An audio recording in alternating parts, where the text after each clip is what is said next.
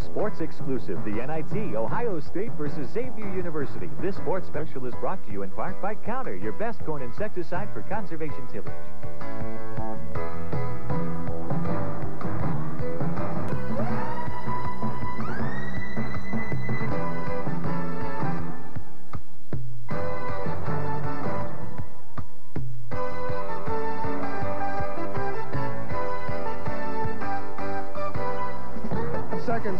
You start all over. Whatever has happened in the past is just that, in the past, and you can regain a lot of pride, momentum, respect, call it what you want, but you got Xavier University tonight, the NIT.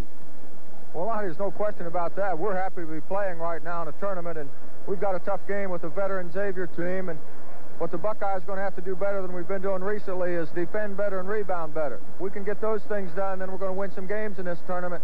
If we can't, then we have your ball club and the fact they really like to run the ball, which uh, there again throws it back on that rebounding that you mentioned. Any adjustments you've made since the end of the Big Ten season to improve that rebounding so you can run better than Xavier? Well, we've worked on it, Lonnie, every day. I think uh, hopefully we'll match up a little better with Xavier than some of the people we've played recently, although we did rebound the ball fairly well in Bloomington. Uh, it's a great challenge for us, and I think our kids are excited about being playing, about just playing right now and having a chance to win some games. And we'd like to play with a lot of enthusiasm and do everything we can tonight to win a basketball game. You know, I would think the enthusiasm would be high tonight. How was it in practice this week? Was there a noticeable difference, or was it just like any other week? Lonnie, we had a few problems because of final exams. We had two young people, three young people come down today. They had exams this morning. But uh, the, when we were there, that we didn't practice long, but we did have good practice. Are they very disappointed they're not in the NCAA, or have they forgotten that now and concentrate on what's ahead of them right now? Well, I think they accepted that fact a long time ago, Lonnie. I think they realized they're going to have to have 18, 19 wins to get in the NCAA tournament. And when we didn't get that, then we wanted to get into a tournament. And uh, I think they feel very good about having played their way in the NIT tournament, NIT tournament, being in the top half of the Big Ten. But right now, it's a new season, and we're representing the Big Ten, and we're representing Ohio State basketball. And these Xavier Musketeers would like nothing better than to, to beat Ohio State in Cincinnati. All right, thank you, Coach, and good luck tonight. We'll be right back after this break, Ohio State and Xavier.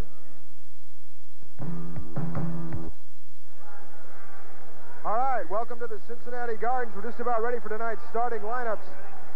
So let's join PA announcer Kevin Gomer for the starting lineups, the Ohio State Buckeyes and Xavier Musketeers.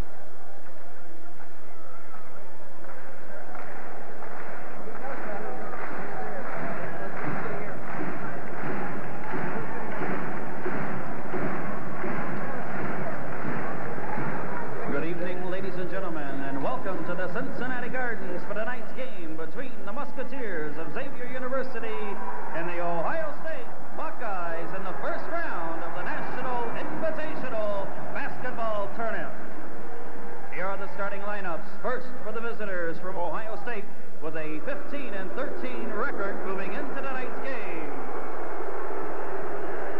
Starting at forward, a 6'2 junior from Jewett, Ohio, wearing number 15, Dave Jones. Starting at the other forward, a 6'7 senior from New Jersey, number double zero, Tony Campbell. Starting at center, a six-seven freshman from Chicago, Illinois, number 34, Clarence McGee. At guard for the Buckeyes, the 5'11 junior from Canton, Ohio, wearing number 12, Ronnie Stokes. At the other guard, a six-foot even junior, also from Canton, Ohio, number 14, Troy Taylor. The Buckeyes of Ohio State, coached by Eldon Miller, assisted by Todd Landrum, Randy Ayers, and Jim Clemens. And now, ladies and gentlemen, introducing the starting lineup for the 1958 NIT champions, the Musketeers of Xavier University.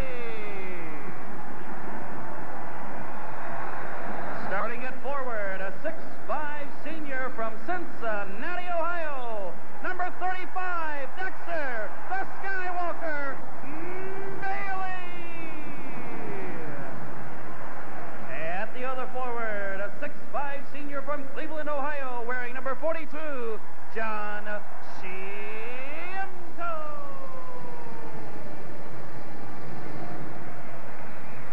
Starting at center for the Musketeers, a six-eight senior from Newark, New Jersey, number 23, Jeff Jenkins.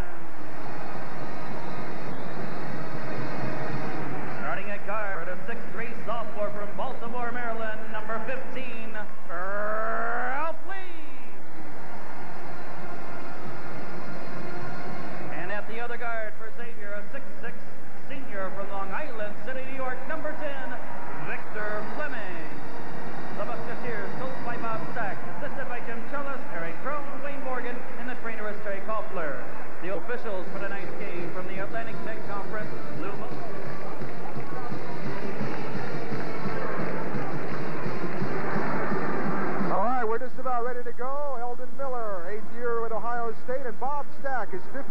with the Musketeers.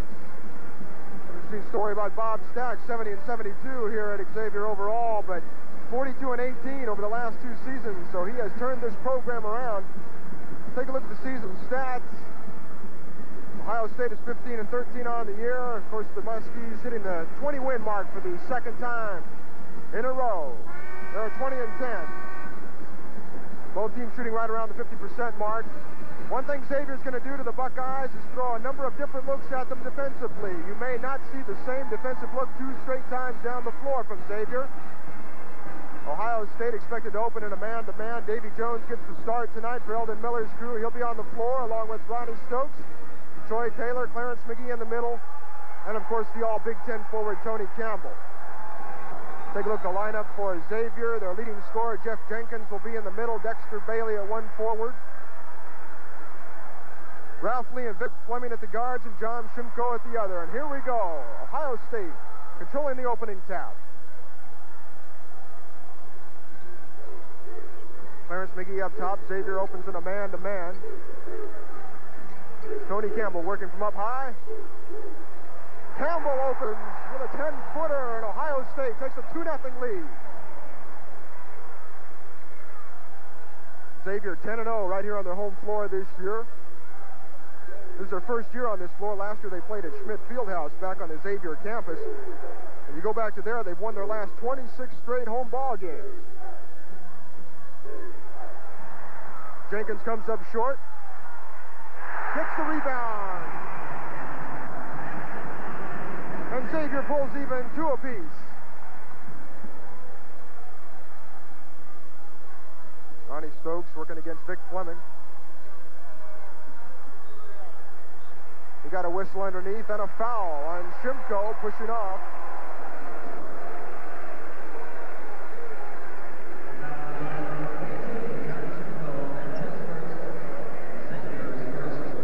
Tony Campbell up top with the foul underneath.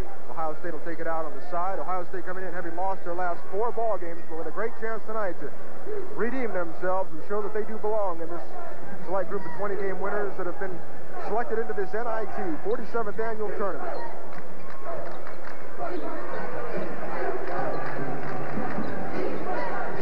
Musketeers have now dropped into a zone. There they are changing their defensive looks. Taylor over to Stokes on the wing.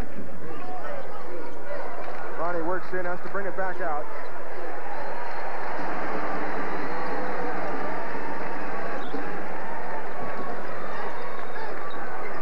Davy Jones under the Troy. Tony Campbell, who is fouled underneath.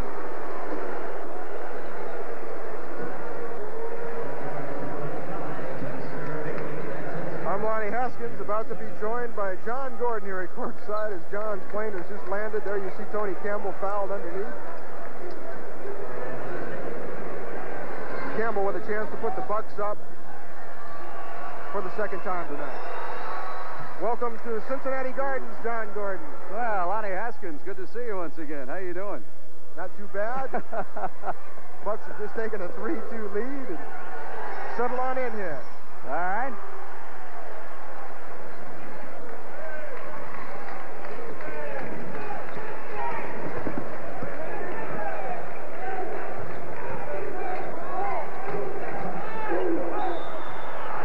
There's the lob underneath. Ralph Lee, he is fouled by Troy Taylor. And Mr. Lee will go to the foul line with a chance to pull Xavier even here at the 18-18 mark opening half.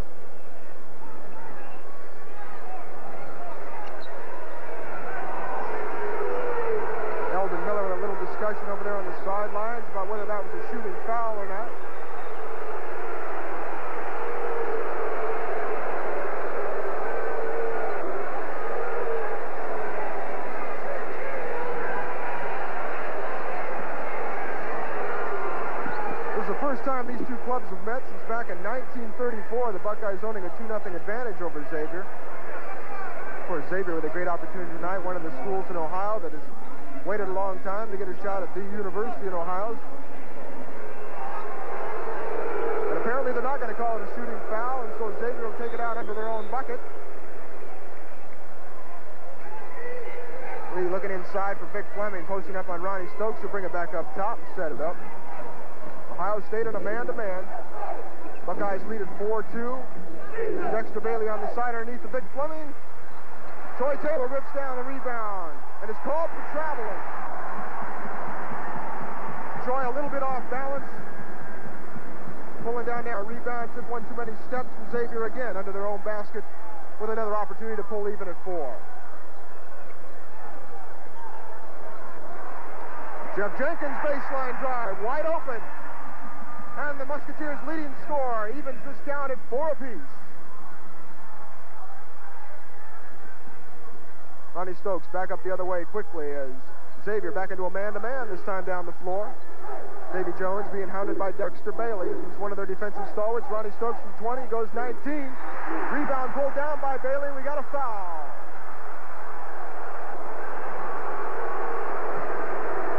I think it's going to go against Bailey.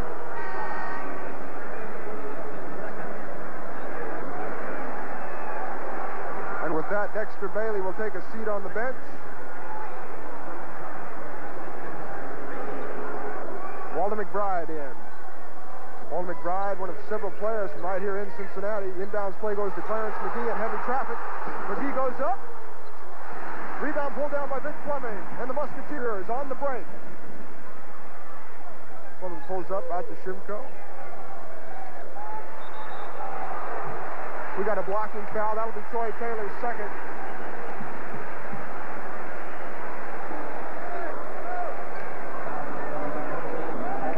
Ralph Lee trying to get baseline. Troy Taylor trying to cut him off. Take a look right here.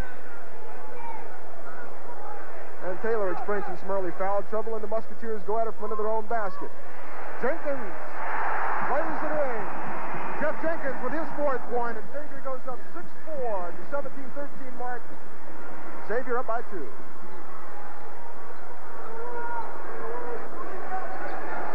Musketeers in the man defense. Clarence McGee up top.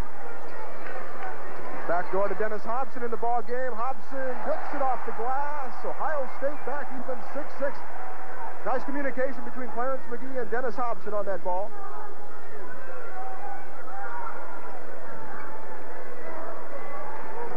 Here Jenkins comes outside. He can hit that outside jumper for a big man. It's over to McBride. Into, into lead. Jumper short. Dave Jones pulls it down. And here come the Buckeyes the other way. Troy Taylor off to Hopson. We're going to get a goaltending call. No. No, they've got Hopson for an offensive foul.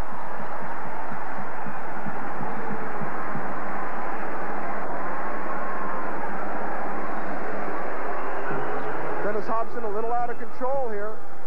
And will save Xavier a bucket.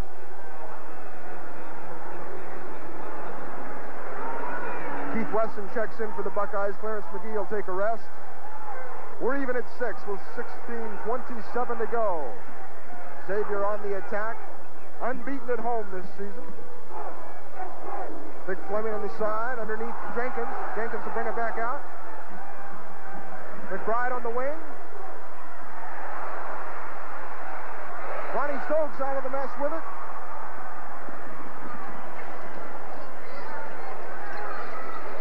Campbell from 12. Throws up an air ball. Fleming with another rebound. Here comes Xavier with a chance to take the lead. Jenkins slows it up to McBride. Shots off the mark from John Shimko. Campbell's got it. Beautiful feed from Tony Campbell to Davy Jones. And Ohio State back on top, 8-6. Both these clubs love to run. You're going to see, see one of the better track meets this season right here at the Cincinnati Gardens tonight. 8-6, Ohio State. Fleming. To Lee, into Jenkins. Jenkins goes down. He's going to get whistled for a travel.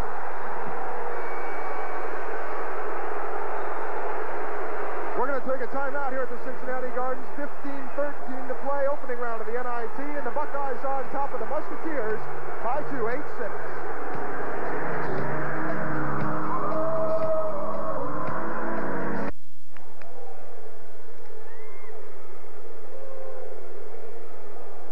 Welcome back to the Cincinnati Gardens. As I mentioned, John Gordon just in. His plane has landed on the roof from Atlanta. And John, nice to have you. Thank you, Lonnie. I tell you, I heard from Sue Schwartz, program director at WTVN. She told me if I showed up at halftime, I'd only get half pay, so that's why I got here just No in wonder, time. No wonder you're here. Hi, everybody. We're set to go with NIT play from the Cincinnati Gardens, and we'll pick up with the Buckeyes leading by an 8-6 count and controlling the basketball.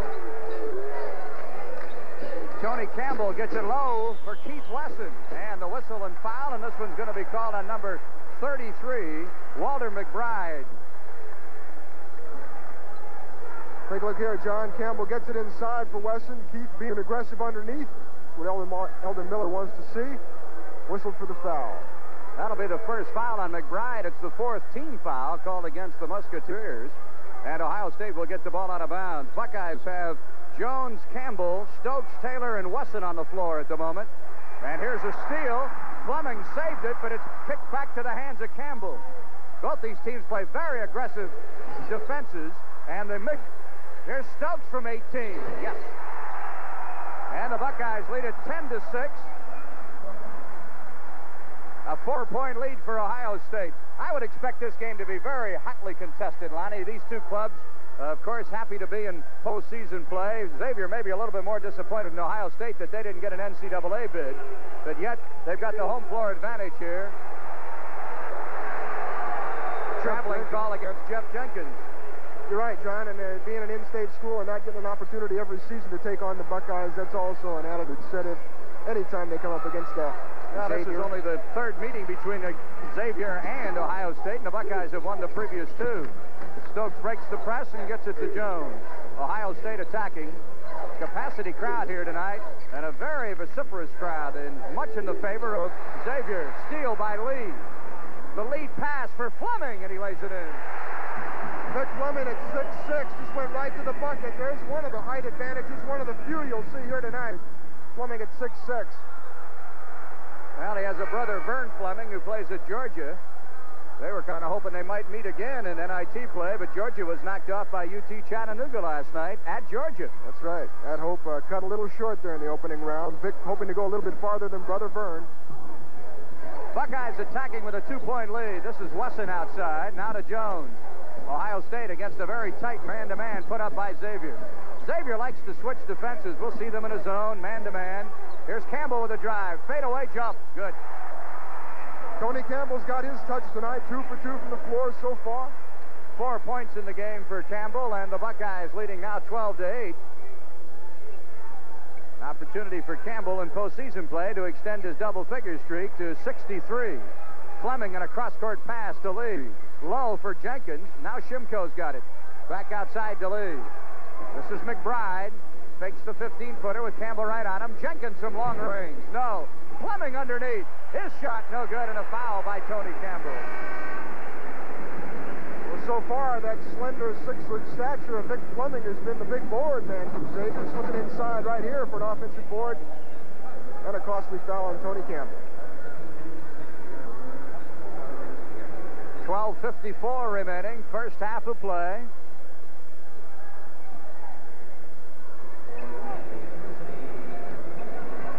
I think it's going to be up to either Ronnie Stokes or Troy Taylor, even though they only stand six feet. They're going to have to do some blocking out on Vic Fleming. Number 24, Richard Harris checks in the lineup for Xavier. Free throw good by Fleming.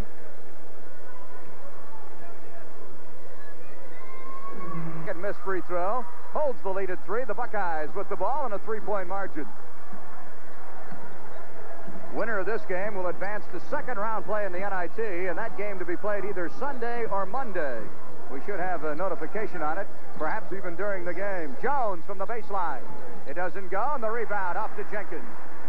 Outlet pass to Lee. He pushes it up court in a hurry, and it's stolen away Stokes steals it.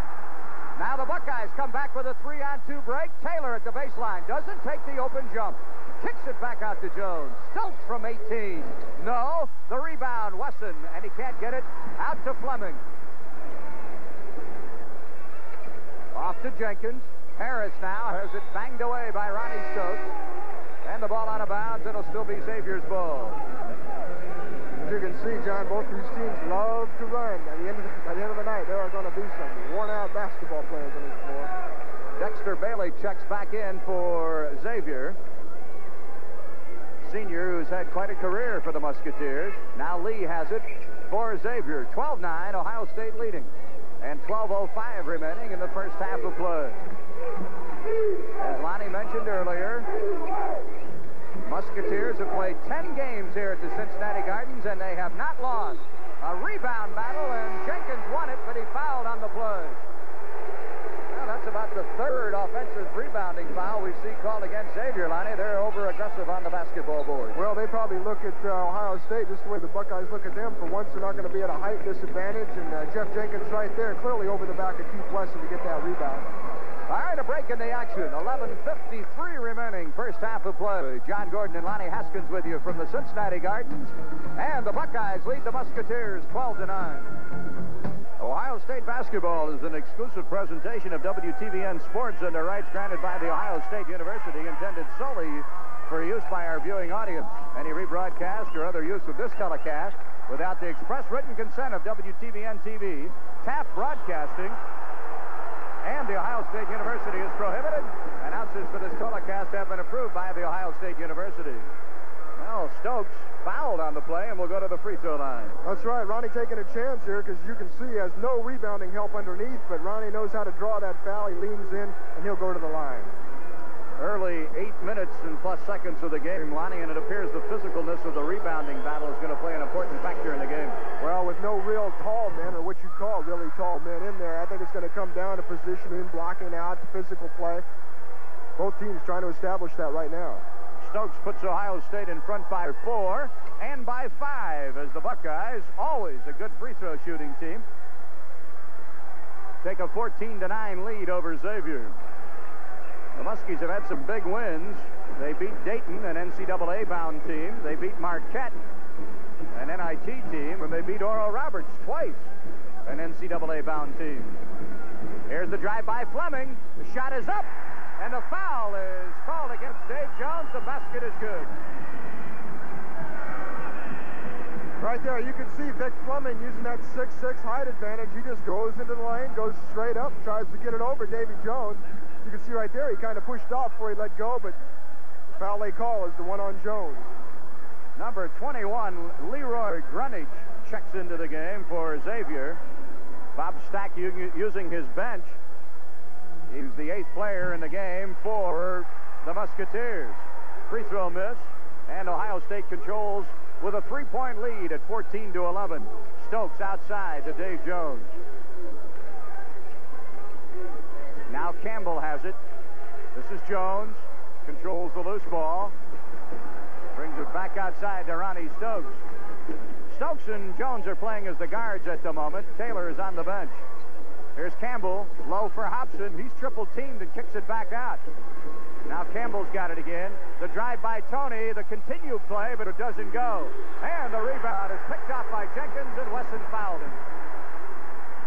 Right now, it seems the Musketeers' rotating defenses are giving the Buckeyes trouble. It seems like they alternate every trip down the floor. Man-to-man, then zone. Man-to-man, zone. You know, you touched on that rebounding battle between these two clubs. Ohio State, of course, out-rebounded by almost three rebounds a game during the regular season, and during the course of the 1983-84 regular season. 10.43 remaining, first half of play. Xavier to come within a point with a hoop. Let's see if they get it. Fleming kicks it back outside to Bailey. This is Greenidge with it. Now off to Harris. He faked the shot, put it up, and a foul called on Hopson. I'll tell you, Harris was lucky to get that foul because he didn't have a good shot. No, he didn't. It was really some nice defense by Dennis Hopson, forcing a bad shot, but unfortunately, Dennis's momentum there carries into the into the player. Well, the foul called on Hopson is the second against Ohio State's Dennis Hopson. It's the seventh team foul against the Buckeyes. And that means that uh, Xavier will have the bonus the rest of the way. Substitutions for Ohio State, the freshman from Akron, St. Vincent, St. Mary. Curtis Wilson checking in, replacing Dave Jones. Troy Taylor, the junior from Canton McKinley High School, checking in for Ronnie Stokes. Harris at the line to shoot a pair.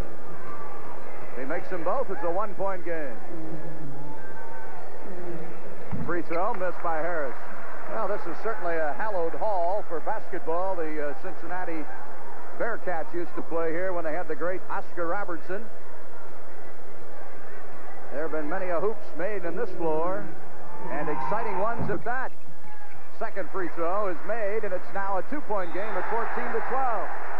Well, on the inbound pass, Hopson tried to get it to Curtis Wilson. He lost it, and the turnover. As you see Wilson kick it out of bounds, brings the ball to Xavier, and they could tie the game, Lonnie. But so far, Xavier has not been uh, really effective from the free throw line. Here's Jenkins in the lane. He missed it. Rebound battle. Greenidge comes off with it and brings it back outside to Fleming. What I was going to mention is come tournament time, you can't afford to be spotty from the line. Kicks it back out to Bailey now. Xavier during the season, 69% from the line, which is not a bad team average.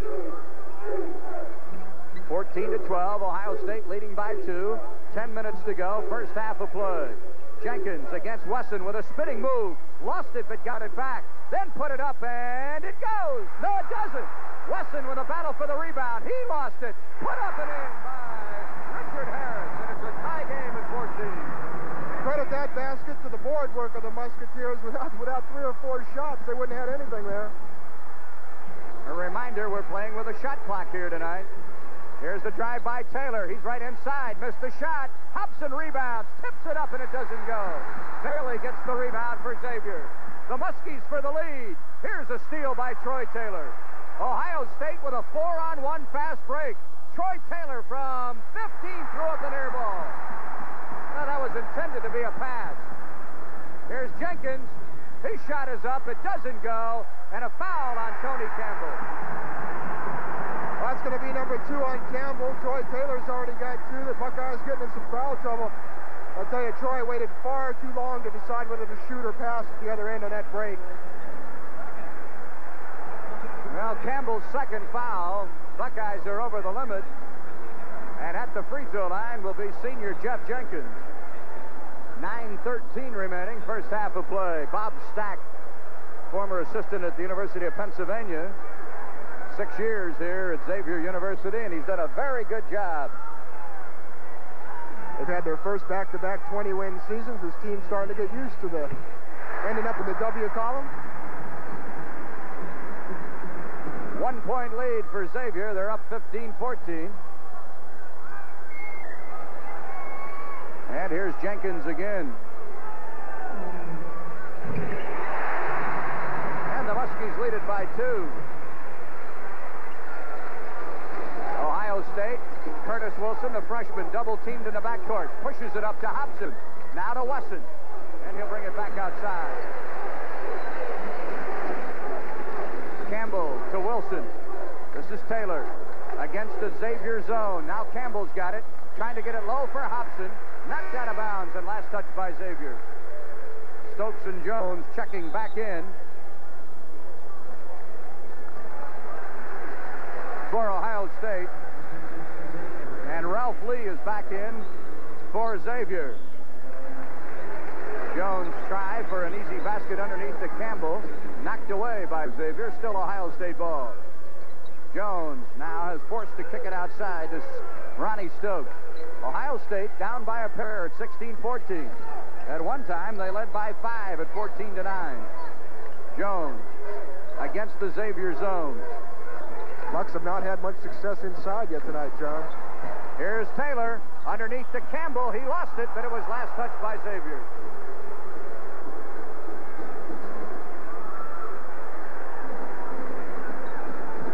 Tallest guy is 6'8", you got to play defense, and Xavier's doing that right now. Buckeyes 15 and 13 on the regular season. Here's Campbell underneath, puts it up, doesn't go, and we have a whistle. I believe that's a five-second violation against Ohio State. No, the uh, time clock went off. Shot was not off in time, and the shot clock goes off, and the Buckeyes lose it on the possession. That really negates a brilliant move underneath by Tony Campbell. This is an adjustment for both teams as far as the shot clock is concerned. Shimko outside to Lee. Back to Shimko. Jones on him. Now Lee has it. This is Jenkins. Greenidge to Jenkins. Back to Greenidge again. Jenkins from long range. Got it. He likes to shoot out there. Just because he's a center, he doesn't necessarily do all his work inside. Four-point lead for Xavier, their biggest lead. 7.51 remaining. Ohio State a long time without a hoop. They were ahead by a 14 to 9 count. Taylor outside. Troy trying to penetrate and forced to bring it back out. Stokes to Campbell. Back to Stokes again. Here's Ronnie trying to get inside. Ball loose on the deck. Picked up by Wesson, and a jump ball is called. It's going to go to the Musketeers. Xavier possession, and right now the Muskies are playing better basketball than Ohio State. 7.30 remaining.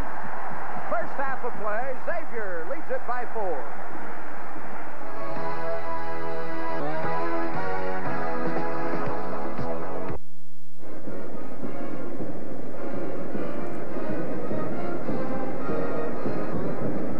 Coming up at halftime, Steve Minnick with his always interesting halftime report.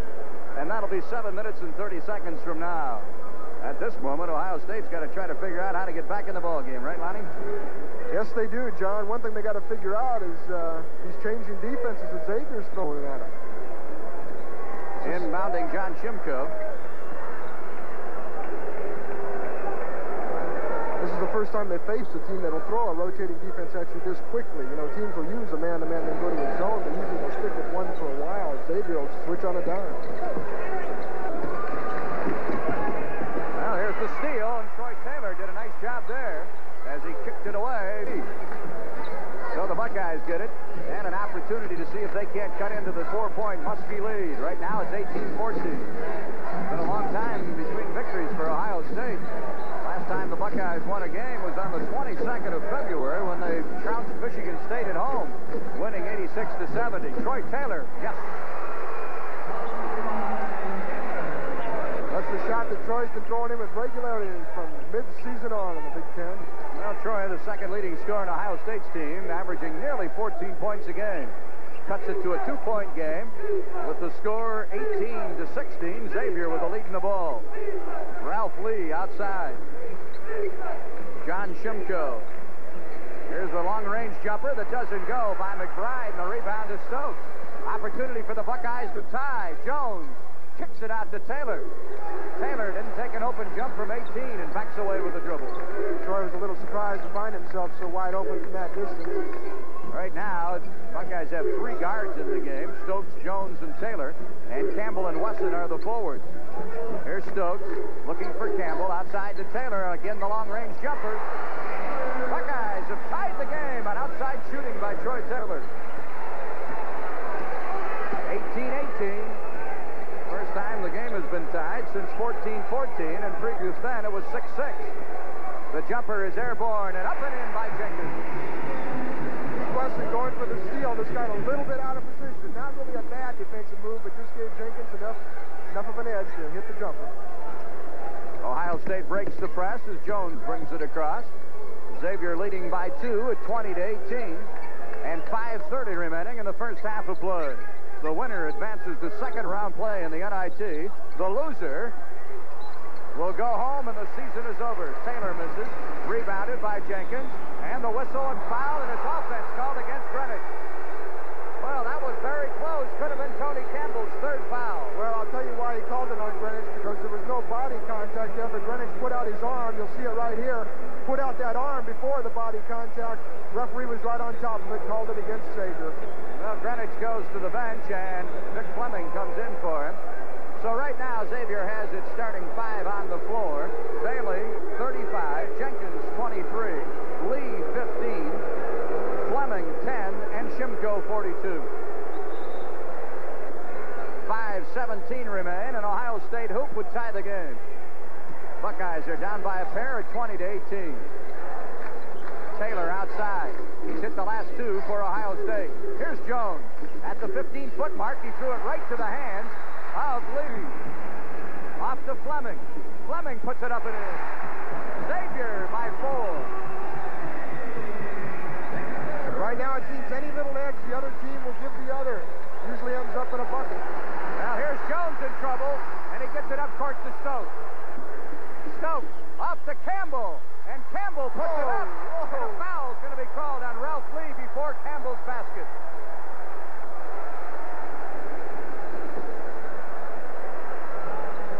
Tony Campbell with a shot out of the Pete Maravich book of off the glass. don't understand why that basket's not going to count. Well, the foul was called on number 15, Ralph Lee, on Stokes' pass. So Stokes goes to the free throw line. Well, that explains it. 4.42 remaining. Gonna get Clarence McGee into the game for Ohio State. Here's Ronnie Stokes with a one and one. Buckeyes trail by three, 22 to 19. Xavier 20 and 10 on the year. They lost to the finals of the Midwest Conference Championship to Oral Roberts, losing by just two points. They had beaten Oral Roberts twice during the regular season, once in overtime at ORU. So you probably wouldn't have to ask Bob Staak what he thinks of the tournament deciding everything. Well, it was just this year that the uh, Midwest Conference titleist was awarded an at-large or a berth in the NCAA. 22-20 on the Stokes made free throws. Xavier with the lead in the ball. Fleming outside against Stokes and an Ohio State man kicks it off now to Lee. Low for Jenkins against uh, Wesson. Jenkins is down, tied up for a jump ball. It'll be Ohio State's ball. Bob Staak is livid across the way because Jenkins was hurt on the play. That's going to cost Xavier possession.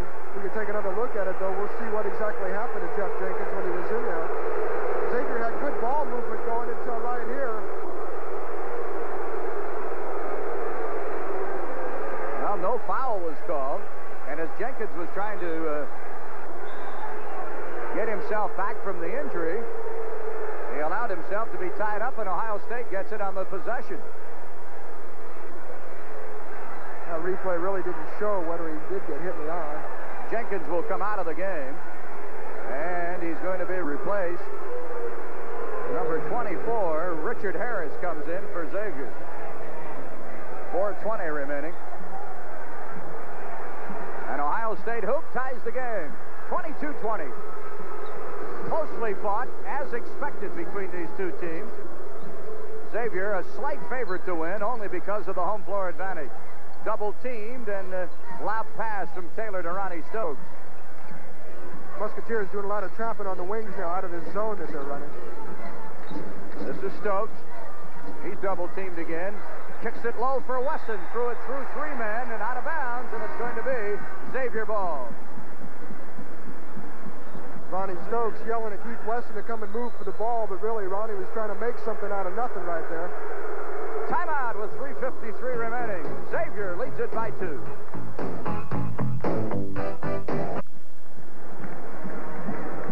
Right, we're going to take another look at that play that Jeff Jenkins claimed he got hit in the eye, and what it ended up with, Ohio State took possession on the jump ball and took it back the other way. Right there, you can see Troy Taylor's hands definitely coming into the picture there.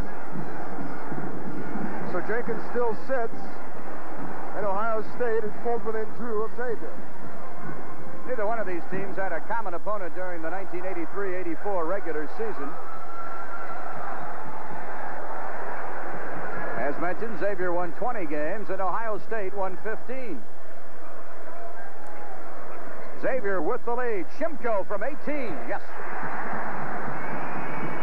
He's one of their better outside threats. He hasn't really shown it yet tonight, but right there, looks like he may be heating up. Four-point lead for the Muskies. After Ohio State had led by five at 14 to 9, the Muskies caught up, and they've taken the lead and led ever since, although Ohio State did tie it at 18. Troy Taylor keeps Ohio State in the game. I think he's got that spot marked. He gets the ball, he goes right to that spot, bingo. 3.08 remaining. Muskies lead it by two, 24-22. There's a lot of speculation that the winner of this game will play the winner of the Marquette Iowa State game that is being played tonight at Iowa State. Last touch by Ohio State, and it is still Xavier ball. There are six other NIT games tonight, and then tomorrow night there are three remaining games. Oh, Shimko and Taylor performing here as Shimko hits the bottom of the net, and it's a four-point Xavier lead. Well, Shimko showed you a little Jerry West line drive action on that jumper. 26-22, less than two and a half remain. First half of play. John Gordon and Lonnie Haskins live from Cincinnati Gardens as we bring you the game between Xavier and Ohio State. Well, Campbell has been virtually shut out since six early points in the early goings of the game. Holding the ball at the moment. Gets it off to uh, McGee. His baseline jump, no. The rebound, Campbell, and he ran into somebody, and a foul called against Shimko. Nice work in there by Tony Campbell. He wants to go down and play inside, but unfortunately the two fouls, what he can do in there right now with the the last two 17 of the first half is a little inhibited. Right there, you can see Tony going in there and getting slapped. Ralph Lee is out. He's replaced by Jeff Jenkins. And Clarence McGee arrests for Ohio State. His replacement is Dennis Hopson. And Wesson also comes into the game, replacing David Jones. Well, the Buckeyes five on the floor. Campbell shooting the free throws. Stokes and Taylor. Wesson along with Hopson. Two-shot foul. Campbell missed the first. That's a rarity. Tony, an 81% free throw shooter. You know, John, we'll go back to that uh, that jump ball down here. I'm of the feeling I wish they bring back the jump ball. I don't know about this alternate possession thing. I'd like to see the jump ball back. Well, they did make one little alteration in the rule, that being that with the defense is uh, close enough on the five-second call, but the defense does get the ball rather than alternate possession. But you're talking about the fact whenever there's a tie-up that it is alternate possession. Jenkins from outside. Got it. Xavier's biggest lead. They're up by six. 156 remaining. First half of play. Jeff Jenkins really gives opposing centers headaches in the fact that they do have to follow him out in that 18, 20 foot range because it is within his range. Here's Taylor again. He got it. Well, that wasn't a swish, but it rolled through. And Ohio State's Troy Taylor, who's been red hot here in the first half, keeps the Buckeyes in the game. Xavier by four with a minute and a half remaining. Harris outside. He hasn't handled the ball much offensively. Now it's low for Fleming. His shot is up, and it doesn't go. Good rebound by Hopson. Off to Taylor, and here come the Buckeyes, trying to close within two. Stokes kicks it back out to Taylor. Ohio State virtually attacking against a 2-3 Xavier zone. Campbell's got it. Campbell with the drive to the hoop. The double pump and off the board. Yes, it's good. Campbell with eight points in the game, and the Buckeyes are within a pair. Less than a minute remaining. 28-26, Shimko. Nearly stolen by Hopson. Then it is picked away by Taylor. He's still having trouble, Harris is. Here's a loose ball and a shot that's up and in. The referee says no harm, no foul, but I think there was some harm in there. Xavier by four again at 30 to 26. 29 seconds remain, and the Buckeyes may play for the last shot here. Well, they got away with one there. I think they did too. Well, Ohio State with 17 seconds remaining, content at this moment to play for a last shot. Here's Taylor. This is Stokes. Back to Troy. From long range. Oh, he hit again. What a performance by Troy Taylor. At the buzzer, the shot is up, and it does not count. It's a two-point game at the intermission. Troy Taylor was some shooting exhibition, Lonnie Haskins. It's a good thing, too, because right now Troy's keeping the Bucks in it out there that 20-foot range. Well, it's a two-point game at the half. Xavier leads it 30 to 28. All right, here at the Cincinnati Gardens, the uh, Buckeyes trailing by two, 30 to 28 at halftime. And I read in the paper yesterday that Xavier was favored by two, so the uh, bookies are right on it, right, Lonnie? Well, two-point must be the home court. The only thing is, though, Troy Taylor's got a little spot marked out there in that home court that's been working for the Bucks so far.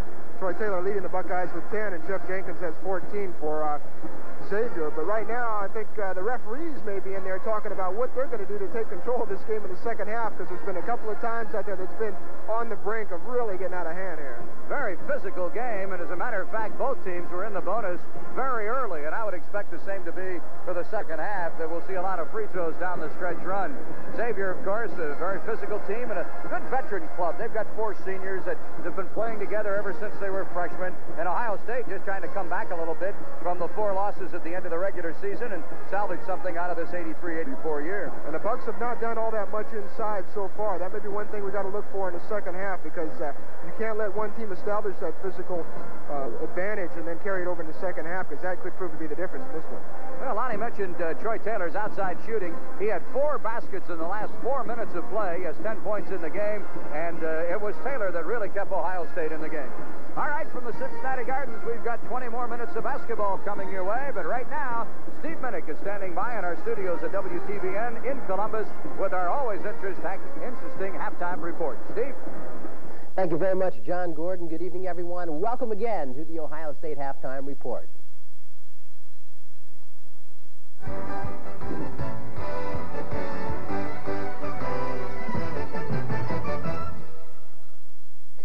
Hello again, I'm Steve Minnick. It's halftime down at the Cincinnati Garden. It's the first round of the National Invitation Tournament.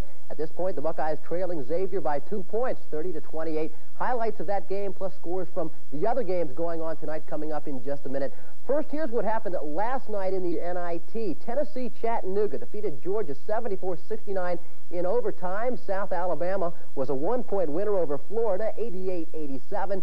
Tennessee defeated St. Peter's by 14 points, 54-40. Interesting here because Tennessee, with just six minutes left to play, trailed 38-35. Notre Dame defeated Old Dominion 67-62. Sophomore Ken Barlow had 21 points for the Irish. Lamar defeated New Mexico by a bucket 64-62. Southwest Louisiana defeated Utah also by a bucket 94-92. George Almond scored the winning basket with just two seconds left to play. Now to tonight's games. We'll start it off with the game you're watching right now down at Cincinnati. Ohio State trailing Xavier 30 to 28 early in the ball game. Both teams exchange the baskets. Jeff Jenkins there drives to tie it at four. Here come the Buckeyes. Tony Campbell gives to Dave Jones. Jones scores. The Buckeyes take a two-point lead. The Buckeyes able to take a four-point advantage. Campbell down low comes up with a jumper. The Buckeyes take the lead here 12-8. Ohio State ran the lead to five points, but Xavier able to tie it back up again. Richard Harris picks up the loose ball and scores. That ties it 14 all. Xavier then takes the lead. Jenkins hits the 21-footer, and the Musketeers lead by four. Jenkins, by the way, with 14 points. Troy Taylor comes up with a couple of bombs of his own. This one hits the bullseye, and once again, it's a tie ball game. Xavier, though, once again put on a big run to grab a six-point advantage, but with time running out, Taylor scores to make it a two-point game, 30-28 at halftime in favor of Xavier. Other games going on tonight right now in the first period. North Carolina State leads Florida State 32-30. Virginia Tech is three better than Georgia Tech at this point in the first quarter, 28-25. Getting underway in just a couple of minutes. Nebraska plays at Creighton. Iowa State hosts Marquette. Michigan is home against Wichita State. And on the coast later on tonight, Oregon hosts Santa Clara. When we come back, we'll talk about the NCAA tournament. There's a little controversy brewing. We'll hear from Maryland coach Lefty Driesell. Plus, the Lady Buckeyes get ready for their opener this Sunday in the NCAA women's tournament. That's all coming up right after this.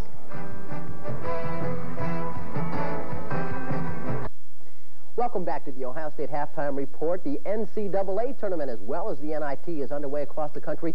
First at the East Regional in Charlotte, North Carolina. In the second period, Temple is leading St. John's 57-52. Later on in Charlotte, it's Auburn against Richmond. At the Mid-East in Birmingham, Oregon and West Virginia are tied up early in the first period. That game will be followed by Alabama-Birmingham and Brigham Young. At the Midwest Regional in Memphis, Fresno State has a lead over Louisville, or Louisiana Tech 17-11. That game is also in the first period. At the conclusion of that game, Memphis State and Oral Roberts will take the court. Finally, at the West Regional in Salt Lake, Nevada, Las Vegas, and Princeton just getting underway. That game will be followed by LSU against the Dayton Flyers. Now, as we mentioned, there is a little bit of controversy brewing. It centers around where certain games are being played. One example is the Mideast Regional Final. It will be played in Lexington, Kentucky. That means Kentucky Wildcats, if they get that far, will play the finals on their own home court. A lot of coaches do not like that idea, including Maryland head coach Lefty Driesell. Maryland could possibly be Kentucky's opponent in that game. At a news conference, Driesell spoke out against team playing tournament games on their own home court. I don't know what the politics is behind it, but it should be changed. Definitely, without question, uh, unequivocally, and I called Vic Bubas and I called Dave Gavitt and told them that. I told them that last year when we had to play Houston on the home court. But it's like, you know, other things in America, it takes a while to change. What did they tell you? That's what they told me. That was the excuse they used. In other words, Kentucky said they won't, if they can't have the opportunity to play there, they won't have the regionals there. Then I say, okay, well, all I'd tell Kentucky if I was the head of the NCAA, I'd say, okay, Kentucky, you won't get one of our 52 beds. you know, and then see if they don't change their mind. Speaking of teams hosting games on their own home court, Ohio State hosts Mississippi this Sunday. It's the first time any NCAA tournament game, men's or women's, has ever been played inside St. John Arena. The Lady Bucks hosting Mississippi on Sunday. It's round one of the Mideast Regional. Now, the Buckeyes agree it might be a little unfair to the visitors to play tournament games on their own home court. But they're also quick to point out they didn't make the rules. That's not fair to the other team, but, you know, who can you say? I, they want to make money, I guess, and, you know, we get the bigger crowd, and I guess that's basically how they're going on. I think it's pretty exciting. I think um, it's like an extra push, you know, because I think we had the home, home court advantage, and, you know, it gives us something really to work for. I think it's an advantage just because people feel comfortable here, and, you know, their friends and family will be here. Mm -hmm. So I think that'll really be It'll help us out, you know, mentally more than anything. It's been a busy week for Ohio State. Not only have they had Mississippi on their minds, but winter quarterfinal exams as well. Some players, like Ohio State's leading scorer, Carla Chapman, have gone 24 hours at a time without sleep. It is a little tiring, but now that it's all over, I think we'll be able to catch up on our rest. Mm -hmm. and get some sleep and be ready for Sunday. We're very fortunate to be playing at home so that we don't have to worry about traveling. Um, and I think that people have been able to manage their time so that they can study and they're able to practice. I think the only thing that might hurt us is the fact that people are staying up so late that they're tired and then maybe they're not as effective in practice. And the thing that I worry about is that they might get hurt. Now, the Bucks take a very respectable 22-6 record into Sunday's game. That includes winning 17 of 18 in the Big Ten, but only 5 of 10 in the preseason against much more formidable opponents. But this return to a more tougher brand of basketball doesn't have the Lady Bucks riled. Well, I'd like to think that we played a very competitive preseason, and we learned and we improved, and we continue to play a competitive season, uh, and just keep, them, you know, we just kept improving. One thing is, some of the teams that we play in the Big Ten played very closely with a lot of top 10 teams. Minnesota is an example that lost by four points to Tennessee at Tennessee, and Tennessee is in the NCAA Uh, on a team that played close with Mississippi. So I think that our competition in the Big Ten is improving and is somewhat underrated nationally. And that's what we have to do is be very tough against Mississippi to show people that the Big Ten is in fact a competitive conference. That'll do it from Columbus. Time now to go back to Cincinnati. John Gordon and Lonnie Haskins. All right, here at halftime, the Xavier Musketeers are leading the Ohio State Buckeyes by a pair of points. 30 to 28. Lonnie Haskins reviews the scoring in the first half of play. Well, John, the Buckeyes hit just under 46% from the field at 45-8. And the Musketeers are pretty much living up to what they've done throughout the season. They are 13 and 26 from the field for 50%. That's right around what they average. They've got a 17-12 advantage on the board, so that's one area that they have been controlling so far. One thing that uh, Ohio State needs to turn around if they're going to get back on this thing in the second half. Jeff Jenkins has 14 points to lead the Musketeers. Vic Fleming with nine. Troy Taylor has eight for the Buckeyes. Tony Campbell with eight. We understand that Tony Campbell has uh, split the webbing between two of his fingers. I don't think it's on his shooting hand. Uh, maybe we can see if it's taped up. And it is not. I don't believe it's on his shooting hand, though, so uh, he is still in there. Maybe he just caused him a little bit of pain. Both teams with too many turnovers, nine for the Bucks, ten for the Musketeers right now as we get ready for the second half.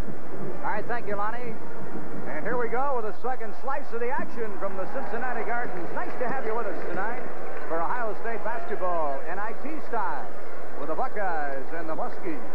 Pair of Ohio schools trying to advance to second round play. This is Jenkins.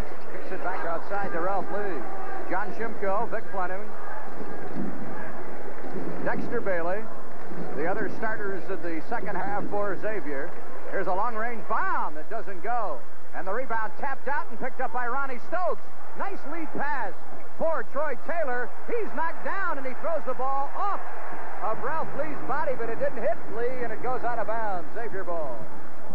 I guess it didn't. The ref was right on top of it from here. It was kind of tough to tell, though. I thought it, it looked like it did uh, go off somebody, but evidently not. So Xavier gets it back. The Buckeyes have Taylor and Stokes, Keith Wesson, Dennis Hopson, and Tony Campbell starting the second half. Shimko off to Fleming. The whistle and the foul, and it's called against Wesson. It'll be team one against Ohio State in the second half. Things getting physical right away under there. Jeff Jenkins was practically laid out like he was on a couch. the couch happened to be number 43 there. Keith Wesson, take a look there. Look.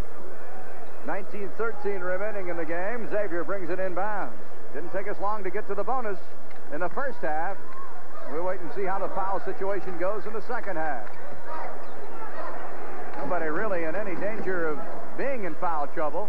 No player has three fouls on him. Bailey underneath. He's in trouble against Campbell. Puts it up and it doesn't go. Rebound Fleming and stripped away by Stokes. Here come the Buckeyes in a hurry. Stokes in a fast break. Off to Hopson. 10-footer. Yes. Tie game at 30. The Buckeyes can keep hitting, the, hitting their outside shots, John. One thing that's going to do going to keep Xavier from going into that zone too often, and maybe they can get some kind of static defense down here to work against. Sure looked like Ohio State was in a hurry on that play. They may want to pick up the tempo just a little bit. Although Xavier has a tendency to run too, right, Monty? They love to run. Both teams love to run. Bailey outside, tied at 30. Xavier and Ohio State.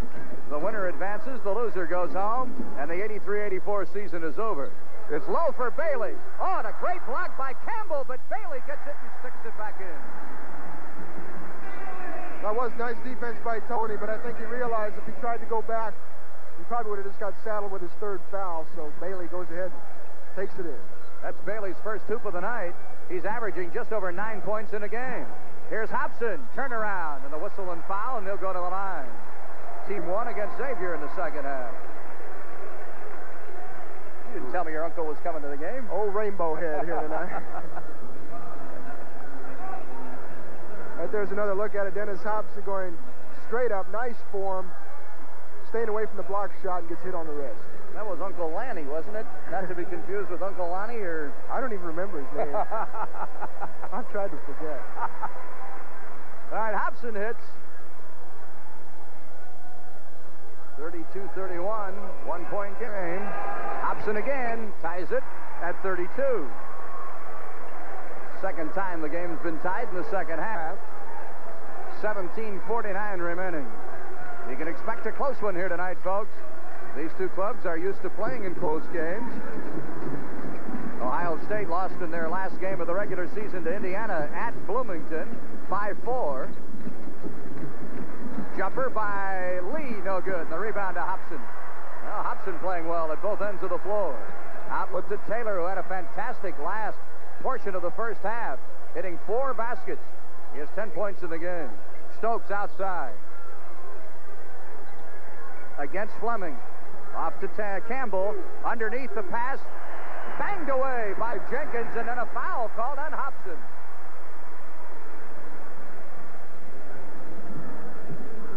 Second team foul called against Ohio State in the second half. Xavier has one. And Xavier gets the ball back and a chance to break the tie. Ohio State could have taken the lead. This is Ralph Lee. Against Troy Taylor. Back outside to Shimko. Now to Fleming. Lee again. Cross court pass to Shimko. Has to kick it back out to Lee. Against Taylor. Lee with a spinning move and a turnaround jump. No. Rebound battle. Look at those guys crash that board. Musketeers still controlling those boards, John. Jenkins got it. Well, Eldon up off the Ohio State bench. I think he wants to get the referees here for just a moment. Dexter Bailey kicks it back outside to Jenkins. That'll be an air ball. And the rebound to Stokes away from the hoop. Right now, the quickness of Ronnie Stokes around that basket is really getting Ohio State some badly needed possessions out of there. Well, the Buckeyes against the 2-3 Xavier zone, trying for the lead, something they haven't had since they were ahead 14 to 11 in the game. Here's Taylor. Shot is up, and it doesn't go, but the foul's called on Ralph Lee. Team foul number two against Xavier in the second half. Troy Taylor's success at the end of that first half, as you mentioned, now forcing them to pick him up a little bit higher. Right here. Troy still 17 feet out, and he'll get fouled if he doesn't get the basket.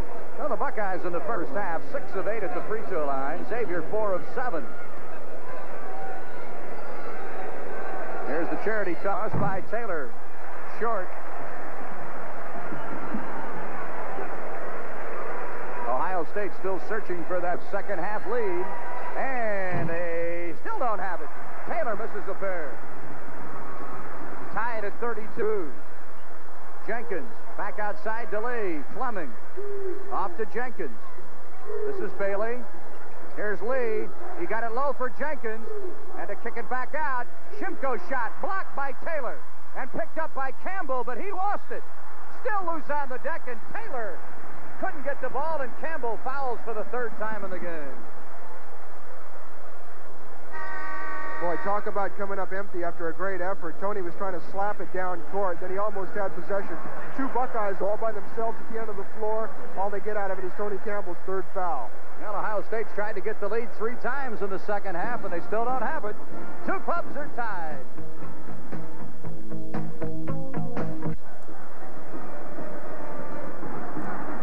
15:47 remain. 32-32 in a tie game. Xavier's ball with a chance to crack the 32 tie. Lonnie? Well, we see how they still haven't seen Ohio State do anything to try and reverse that edge that uh, Xavier's having right now on the boards. That's still killing the Buckeyes underneath. This is Dexter Bailey, double A player of the year from Cincinnati. John Shimko, he gets this one away. No, it doesn't go, and Keith Wesson rebounds. Good position over Jeff Jenkins. One of the few times we've seen the Buckeyes have good position. That's right. He definitely set himself in there that time. Campbell to Stokes. Taylor free. The drive by Troy. A little stop and pop. Yes, it's good. And Ohio State leads it by two. The quickness of number 14 setting that up, getting him by his first defender. Then he just jumps over the man inside, and the Bucks back on top. All right, that's 12 in the game for Troy Taylor. Dexter Bailey against Tony Campbell. Boy, he's got to be careful. Shimko. Ralph Lee low for Fleming. And the foul. This one will be against Keith Wesson. And Fleming will be at the line to shoot a pair. I don't know if we'll get a chance across the way. Bob Staak is the head coach of the Xavier Musketeers. Wayne Morgan is one of his assistants. And another assistant is uh, Harry Crone. And Harry, a former coach in Columbus at Pleasant View High School, old Pleasant View High, and also used to be at uh, Bishop Ready High School in Columbus.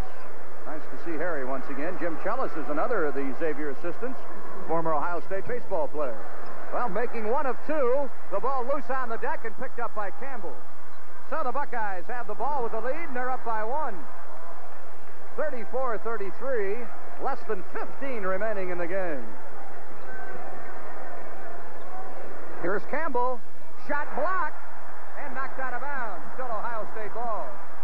I think Tony totally forgot that John Shimko was still there behind him. He went up, all of a sudden the ball wasn't in his hands anymore. Campbell has eight points in the game. And the pass. This could be trouble here. Taylor's got it from Stokes, and they bring it across as the ball went to the back court.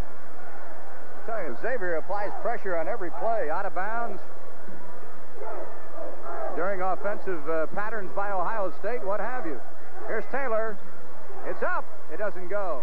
And Jay, Dexter Bailey gets the rebound. Stumbles with the ball. Brings it off to Lee. Shovel pass to Shimko. Layup, no, but an offensive foul on Shimko. I think the Buckeyes had a break coming after all that. It looked to me like there was little over and back here in the first place going down the floor. One of the officials was right on the play, and there was an over and back violation, but they didn't see it. Well, the ball saved from going out of bounds to Victor Fleming, and he lays it in. Xavier leads by a point. Full court pressure. Troy Taylor trying to bring it across, and he does to Dennis Hopson. Hopson puts it up. It doesn't go. The rebound kicked away. Last touch by Ohio State. Little momentum now for the Muskies, but the Buckeyes can't get rattled. They're still in this one. settle back. Get back your game. Attendance tonight, 9,715. And I would say that's very close to capacity. There are very few vacant seats here at the Cincinnati Gardens. Yours was one of them for a while. That's right. you almost sold it too, didn't you? yeah, I was, I was considering offers. 13.51 here. Xavier's ball. Well, first half, we saw a lot of substitutions. We haven't seen too many here in the second half. Both folks are still going with the same five that they started with in the second half, and we played over six minutes. Fleming outside, trying to get it low, and he does to Jenkins. Back outside to Lee. Here's Shimko. Again low for Jenkins. Stripped to the ball, and a foul called on Tony Campbell, and that's his fourth of the game. Now Eldon Miller has to make a move here. Yeah, right there you can see Tony not using position when you stick your hand in there. That's not the way they teach you to play the defensive end of it. This is a big swing of momentum right here in this ball game. Tony Campbell with his fourth foul. Up to that point, the Buckeyes were getting nice defensive help underneath there anytime the ball was going inside. But Campbell, Campbell will take a seat. Has fouled out of four games this year, Lonnie, and he goes to the bench now. David Jones comes in for him. But you'd have to think he'll take at least a six, seven, maybe eight-minute respite here, right? Well, I think that depends on what the game dictates. If uh, Xavier shows signs of pulling away, you probably have to put him back in there because you can't hold him and sit him out hoping for what happens in the final minutes because there may be no final minutes.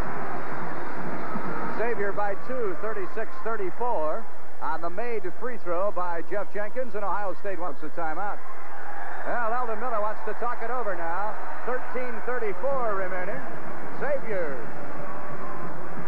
grasping for an edge in the game, and they may have it with Tony Campbell on the bench with four fouls. Muskies lead it by two.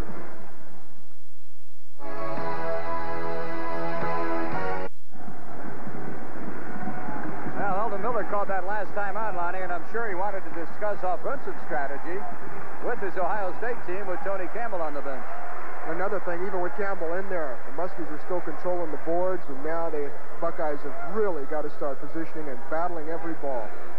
Jenkins will try to put the Muskies ahead by three. They led by two at the half, and there's the three-point margin. Muskies have outscored Ohio State 5-zip after Ohio State had taken a two-point lead at 34-32. Taylor breaks the press to Dave Jones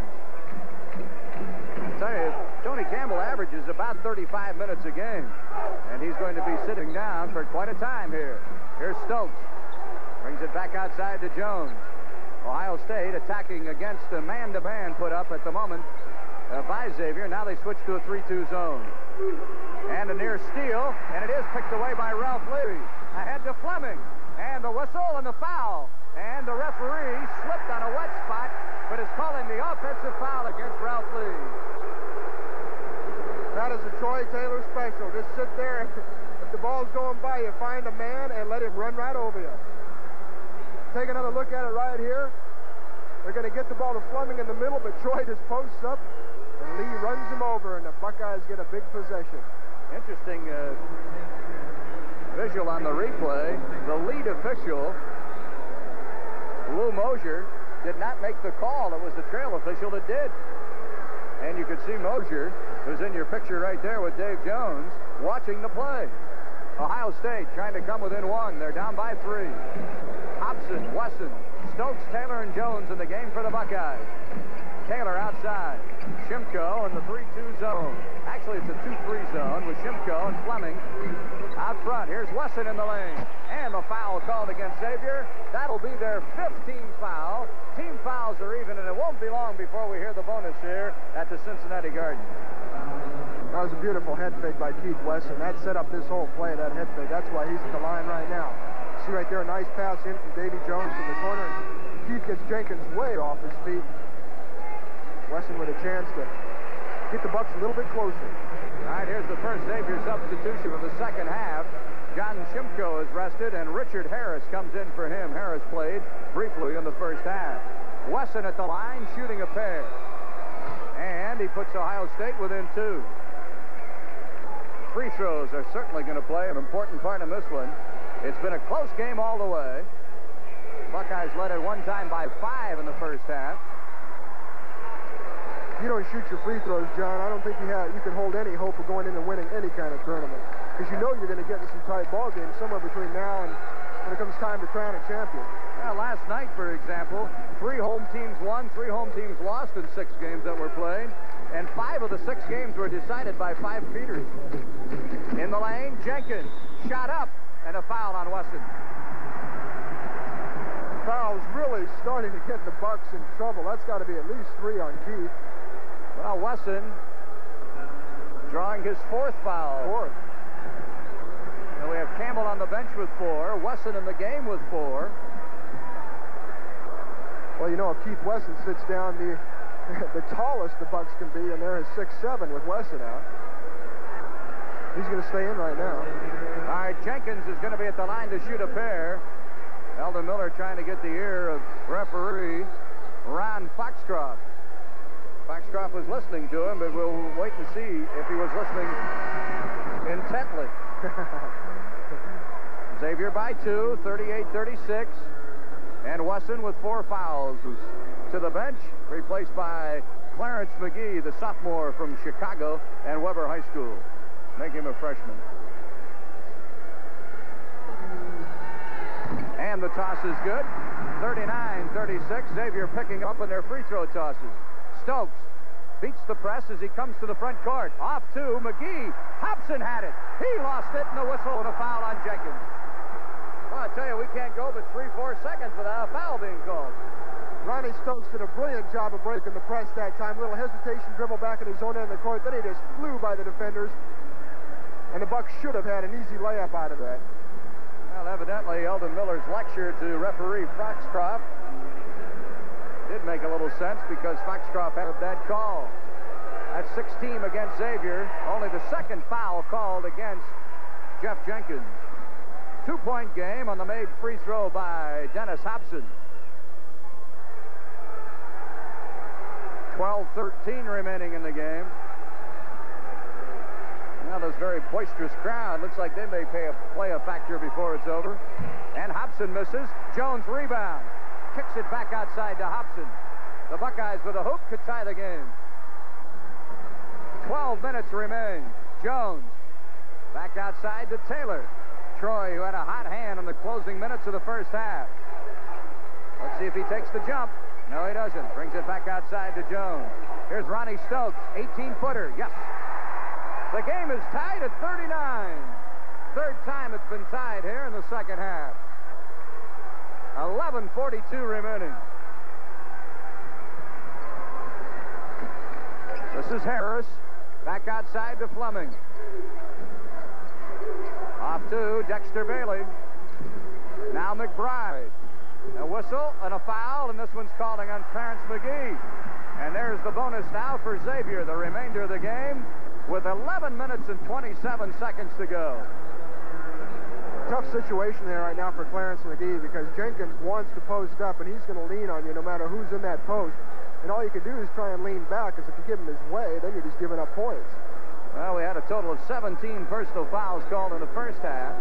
We've already had 13 here in the second half and there's still 11.27 remaining. And Jenkins is shooting a one and one. If he makes the first, he'll get the second. Xavier by a point at 40 to 39. And Jenkins having a big night. 18 points, seven rebounds.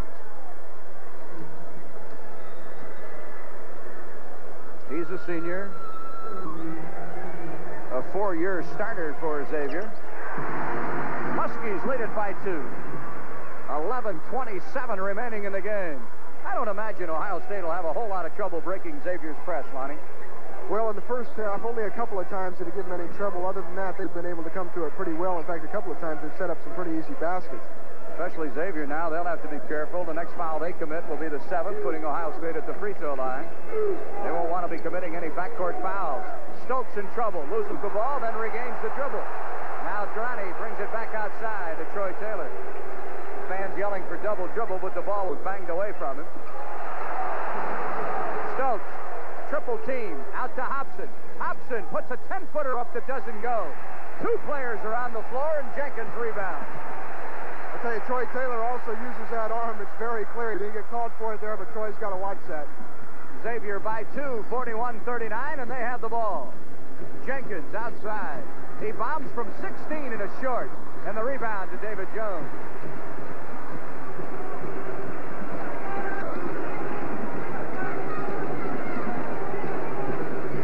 State trying for the tie. They're down by a pair. Stokes and Jones playing catch. Jones from 20. No. Rebound Hopson. Back outside to Troy Taylor. The other NIT games tonight, Nebraska is playing at Creighton. Florida State at NC State, last year's NCAA champion. Mar uh, Marquette is at Iowa State. Here's McGee with a shot that doesn't go, but Hopson rebounds. Great work by Dennis Hopson. The Buckeyes are going to get three shots at the hoop this time down, thanks to two offensive rebounds by Dennis. Well, they better hope the third time's the charm. Here's Jones, 10-footer, doesn't go, and the rebound is off to Jenkins. Well, they certainly had their chances. Georgia Tech playing at VPI, Wichita State at Michigan. Steal by Hopson. And a whistle and a foul, and this one's going to be called on Dexter Bailey. Right now, Dennis Hopson really showing us some defense and some rebounding. So at the 9.31 mark, the Buckeyes get to the free throw line for the remainder of the game. Dennis says we're going to win this ball game if I got to do it by myself. Dexter Bailey with his fourth foul to the bench, and he is replaced by Leroy Greenidge. Santa Clara is playing at Oregon to complete the NIT card for tonight. Tomorrow night, a doubleheader at Philadelphia at the Palestra, Boston College and St. Joe's, Pittsburgh and LaSalle. And the final game of the first round of the NIT, Fordham has to go all the way out to Utah to play Weber State. We got an NCAA final in, John. Temple Fans of the Owls saying, take a look at us, have beaten St. John 65-63. And now the Owls will play North Carolina on Saturday down at uh, Greensboro. Some reward. Or Charlotte they'll play. 41-41 in a tie game here as the Buckeyes and the Muskies of Xavier are battling. Here's the rebound battle, and this one belongs to Greenidge and Musketeerland. Here's a jumper by Fleming that doesn't go. Greenidge rebounds. He shot off the board, no. Rebound battle again, and here's Xavier with three tries. Loose on the deck and a foul on Troy Taylor. Four possessions. Xavier had four possessions that time down. It seems like right now the team that gets the second and third shot may be the team that wins this one, John. Well, the foul on Taylor. That'll be his third of the game. Keep in mind now, Ohio State has two on the bench right now with four fouls, including leading scorer Tony Campbell and Keith Wesson. And Dexter Bailey is on the bench for Xavier. He has four fouls on him. At the line, McBride, a one and one. His shot is up and in. One thing the Bucks have been able to do is keep it close. At least. McBride is just a 53% free throw shooter. And here's McBride again, trying to give his Muskie team a two-point lead, and he does. 43-41. Ronnie Stokes and semi-full court pressure put on by Xavier. But Stokes brings it across with Vic Fleming on him. Temple with a win over St. John's will play North Carolina Saturday, and North Carolina is the top seed in the East Regional. That's an NCAA play. Auburn's playing Richmond in the second game of the doubleheader down at Charlotte tonight. I love that Charles Barkley. Boy, wow. he is an exciting player.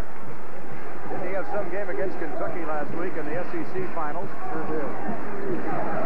Buckeyes need a hoop to tie it up here. They're down by a pair. Here's Ronnie Stokes right at the buzzer. Doesn't go. Rebound. Stokes outside. Davy Jones in the corner.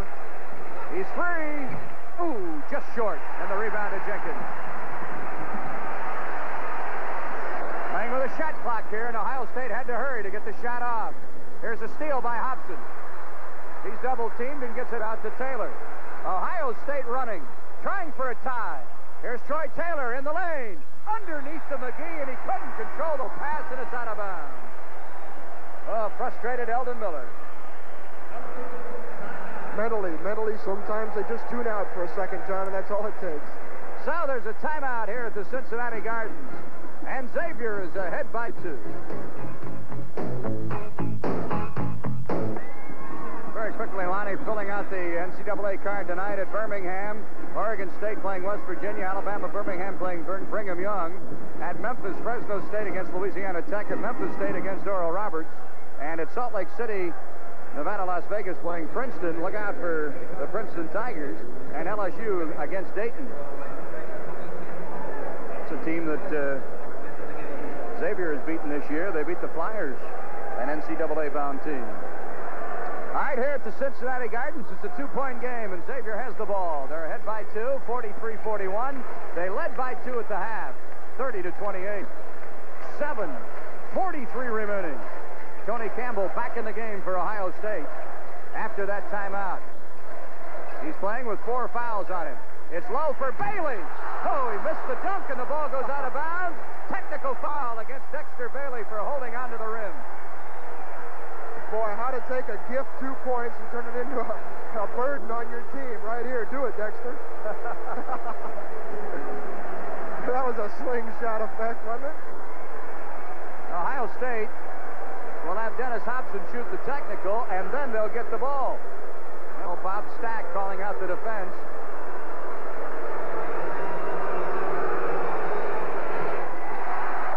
That's just a one-shot technical. The Buckeyes trail by a point at 43-42, and they get the ball and a chance to take the lead.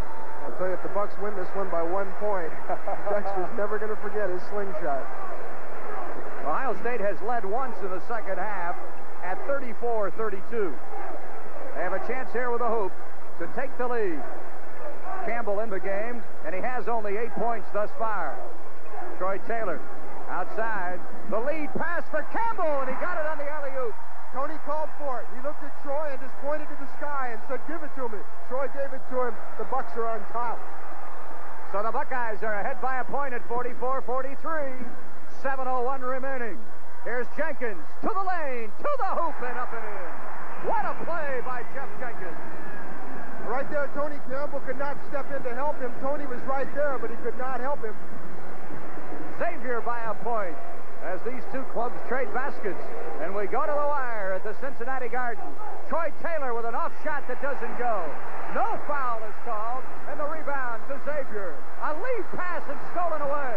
Troy Taylor is down. He gets up, fakes the shot, and now brings it back outside to Clarence, to Keith Wesson.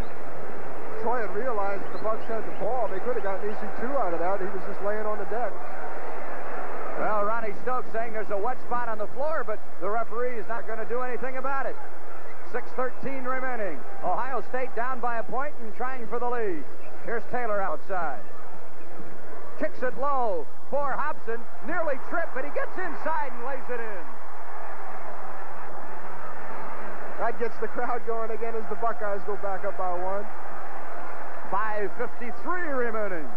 Oh, what a close game here at the Cincinnati Gardens. The Buckeyes and the Muskies fighting for survival. No good on the throw by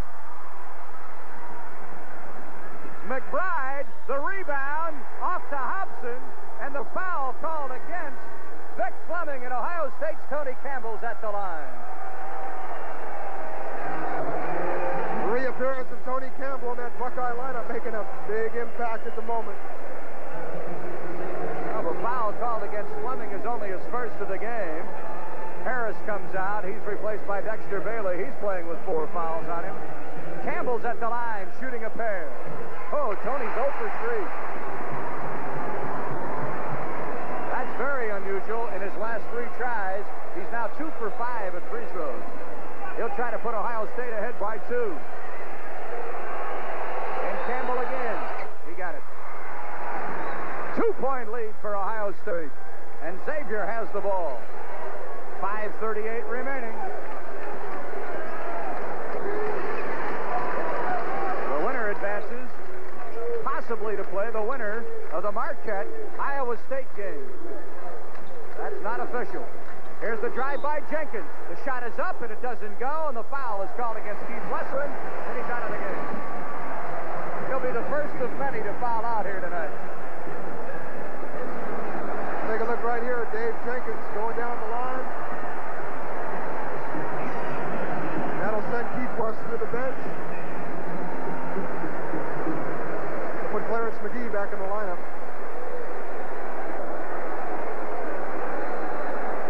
Ohio State with just 10 players. Same for Xavier. Matter of fact, Xavier has only nine dressed tonight.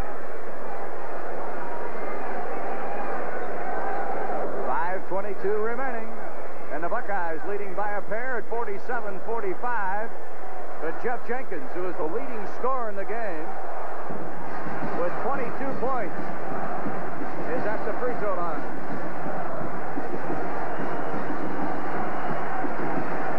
Both teams with a lot of support here at the Garden tonight. Well, it's tournament time. This is a fun time. And it's also pressure cooking time. 5.22 to go, and here's Jenkins. He's got two shots here.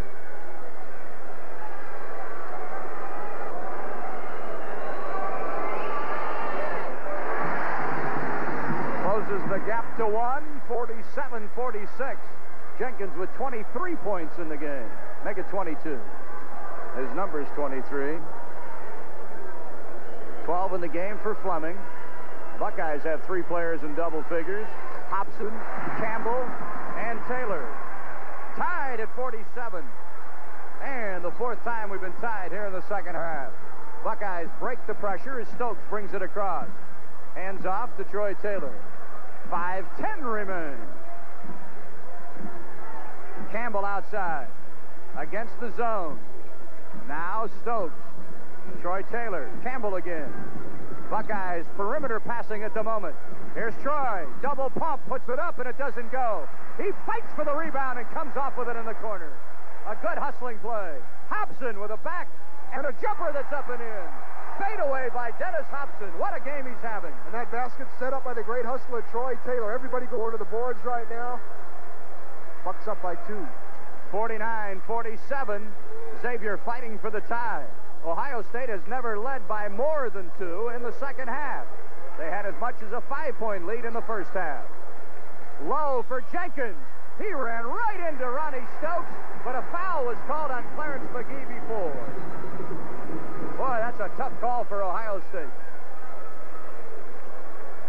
I know you can see the Muskies looking inside. Ronnie Stokes coming over from the weak side, trying to help out. Well, one and one for Jeff Jenkins. 74% free throw shooter coming in. I tell you, there are a lot of folks wiping their brows on this one. a pressure cooker here at the Cincinnati Gardens. Right now, it's a two-point lead for Ohio State. Jenkins bangs one home. Muskies have been on their free throws in this second half. Boy, they really have. 24 in the game for Jeff Jenkins, and he's the leading scorer. Hopson has 14 to lead Ohio State. This is Jenkins again, and he got it.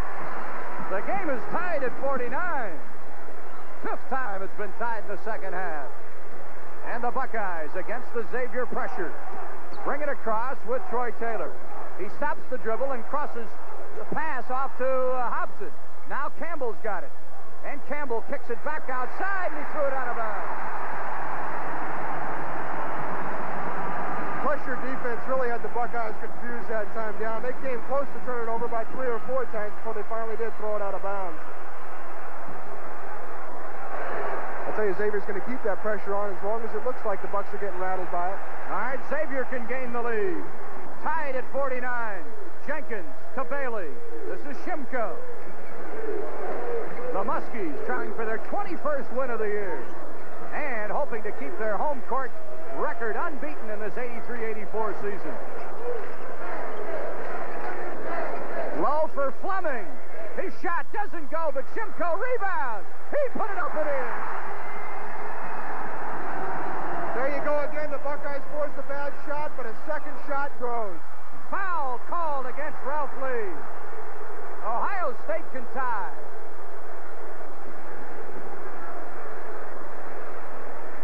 Shimko just put Xavier in front with a layup.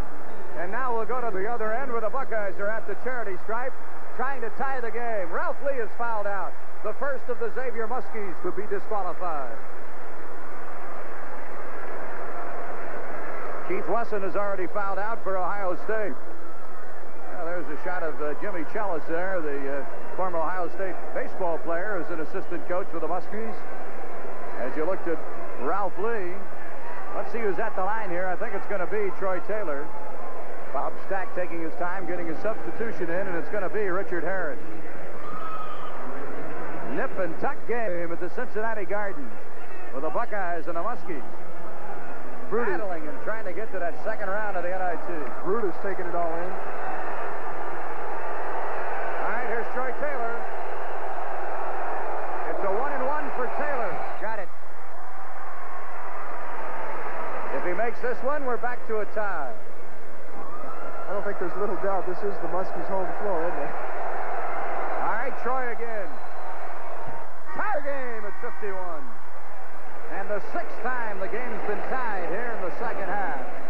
Three minutes and 28 seconds remain. Hang on from the Cincinnati Garden.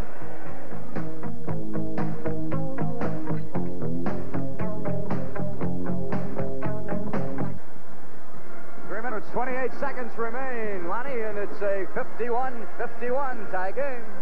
Well, this is everything that the fans here showed up to see, and uh, I'll tell you, you can't predict which way it's going to go because nobody's really got an edge right now. It's just been back and forth, back and forth. I'll tell you, though, the reappearance of Tony Campbell in that Buckeye lineup has helped if Dennis Hopson's playing a whale of a ball game.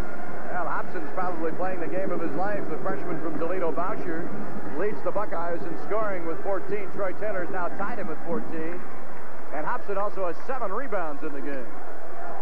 Xavier's ball. If they get a hoop here, they'll take the lead. It's tied at 51. This is Dexter Bailey against Tony Campbell, who's playing with four fouls on him. Outside to Jeff Jenkins. Shimko with Taylor on him. Harris, who's into the game for Ralph Lee, who's fouled out. Bailey and Jenkins outside. Harris again. Less than three remaining in the game. 2.54 to be exact. Jenkins, and he's double teamed. But he backs away with Clarence McGee on him. That's the man. The Muskies probably wanted to take that next shot. Jenkins has been hot. 26 points tonight. Shimko and Fleming outside. Two and a half remain. 51-51 and a tie. The loser goes home. The winner advances to second round play in the NIT. Hoping eventually to get to Madison Square Garden for the semifinals and finals. And an eventual championship. Last year, the Big Ten had three teams in the NIT, but no, no team advanced farther than the second round. Michigan State and Northwestern were beaten in the second round, Minnesota beaten in the first round. Shimko outside with less than two remaining in the game. On this possession now, Xavier has been content to pretty much hold the ball. Near steal, but Jenkins gets it off to Fleming. I think the Bucks were getting away with a little hand slapping there. 143 remaining in a 51-51 tie. This is Fleming. Outside to Shimko.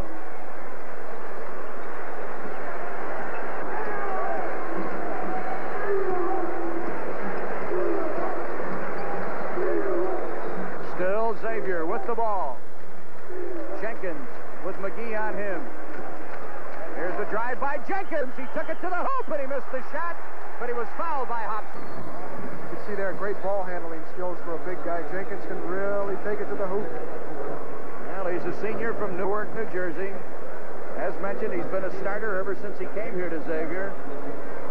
We had mentioned earlier the sixth season for Bob Staak at Xavier. It's really the fifth season. And after the first year, he brought Jenkins, Bailey, Fleming into the fold along with Shimko. And they are the four that have really molded the rise of uh, basketball success for the Xavier Muskies. 116 remains. And we're tied at 51, and we'll keep it right here. Oh, Xavier worked, what, about a minute and a half off the clock there, something like that, crooking down? Yeah, the last time out, we had over three minutes to go. That wasn't really a delay either. They were just looking for an easy layup there, which Jenkins thought he had, and uh, although he didn't get the hoop, he is going to go to the line, and the way they've been shooting the free throws in the second half, we figure that Xavier's going to take some kind of lead when we get back to play. I may be wrong, but I don't believe Xavier's missed a free throw in the second half. Ohio State has missed one from Tony Campbell. Well, the game at the half was a slight edge to Xavier, 30 to 28. But now, with a score 51-51, Xavier's Jeff Jenkins is at the free throw line with 116 to go. I think he's shooting a one and one. I don't think they called it a two-shot foul because the foul was called on Hopson for reaching in. If he doesn't hit both these free throws, then you got to wonder what's Ohio State going to do on the offense. Will they come down and show the patience that Xavier just did?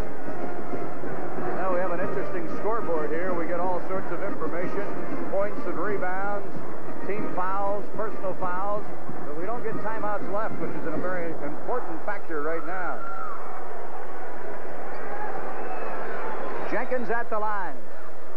By the way, that foul on Hopson, his fourth of the game. So Hopson and Campbell are both playing with four fouls, as is Dexter Bailey of Xavier.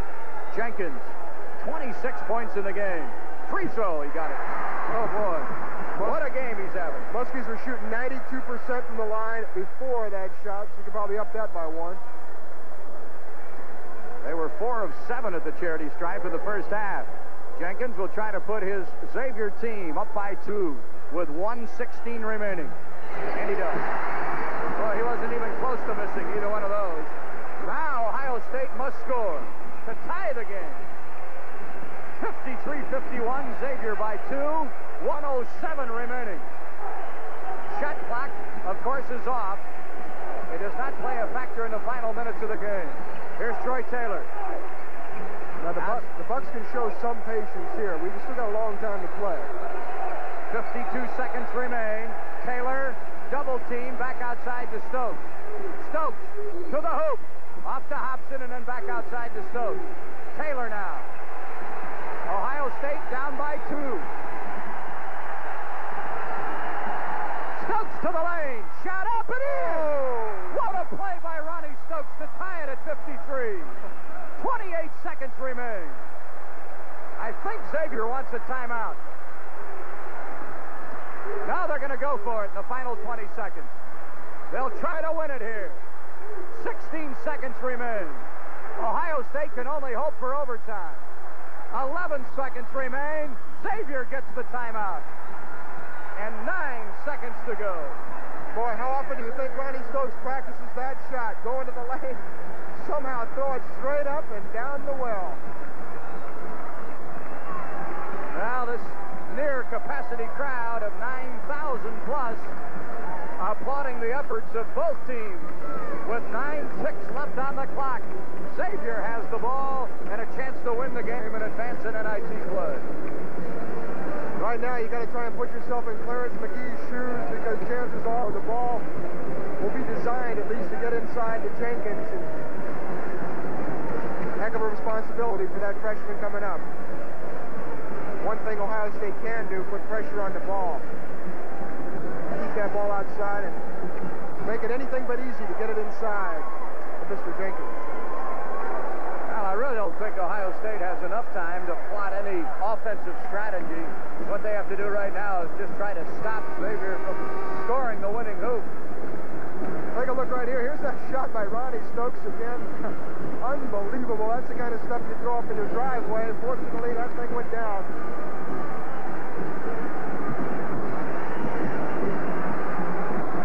Now Xavier has to get it in first.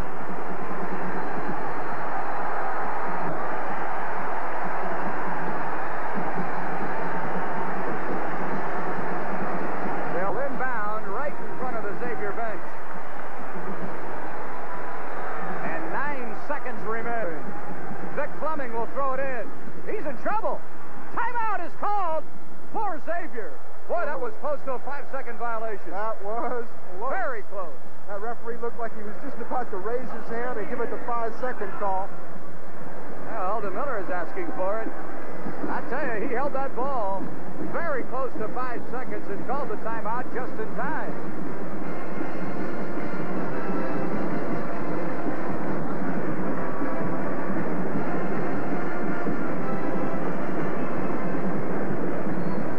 Nine seconds to go.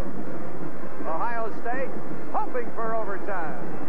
Xavier hoping to pull it out and advance to the second round of the NIT. Last night's first round winners, Lamar by three over New Mexico at New Mexico. Notre Dame by five over Old Dominion. South Alabama by one over Florida. Tennessee Chattanooga by five over Georgia at Georgia. Tennessee by 14 over St. Peter's of New Jersey. And Southwest Louisiana by two over Utah State at Utah State.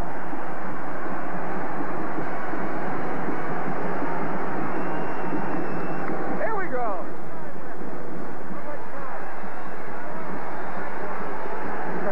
Nine seconds to go.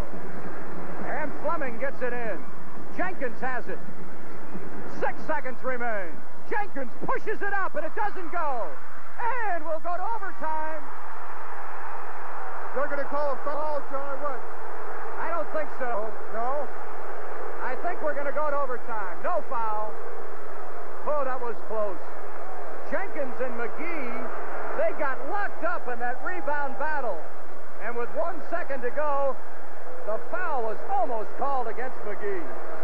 Well, you look at that replay right there, and you're an Xavier fan, you wonder why it wasn't, but that's a tough, tough thing to put on a referee in that situation. Xavier didn't get the shot that they wanted, first of all. You don't want an off-balance shot by Jenkins from 20 feet out, even though he is a great shooter. Five minutes of overtime for the Buckeyes and the Muskies.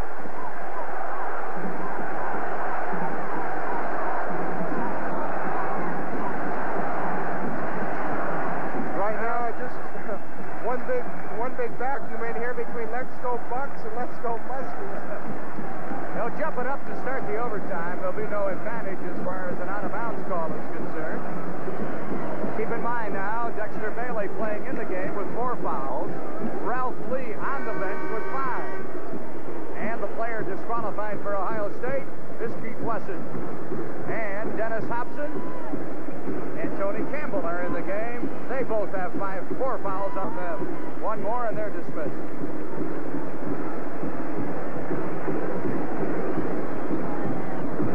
On the floor for Ohio State, Clarence McGee, Tony Campbell, Troy Taylor, Ronnie Stokes, and Dennis Hopson.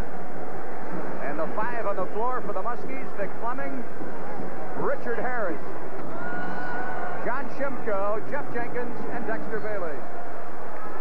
Fourth overtime game here for Xavier. Taylor to Hopson, and he lost the ball. He got it back, and he didn't get the layup. And the rebound to Fleming, and Xavier's got it.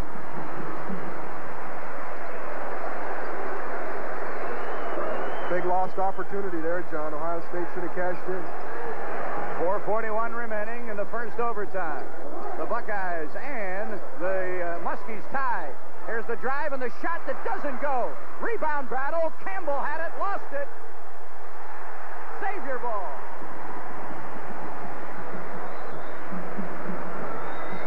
Little loose balls in the end will make the difference in this one. You got to go after them. A half a minute elapsing in overtime. Boy, Jenkins missed a shot there. Here's the shot by Fleming. It doesn't go, and the rebound off to Clarence McGee of Ohio State. The Buckeyes for the first lead in the OT. Let's see if they get it. Taylor from long range. No. Rebound. Loose on the deck. Who's going to get it? Possession to Xavier. And it'll be Muskie ball.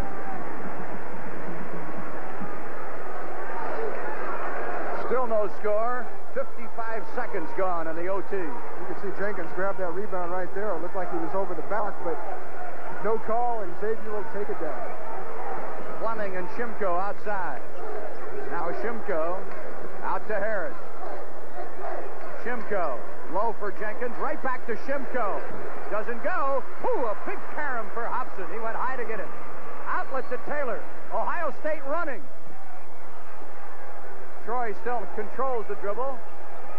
Now brings it back outside to Ronnie Stokes. Ohio State trying to break a 53-53 tie. We're in overtime here at the Cincinnati Gardens. The winning team advances. The loser goes home. It's NIT first round play.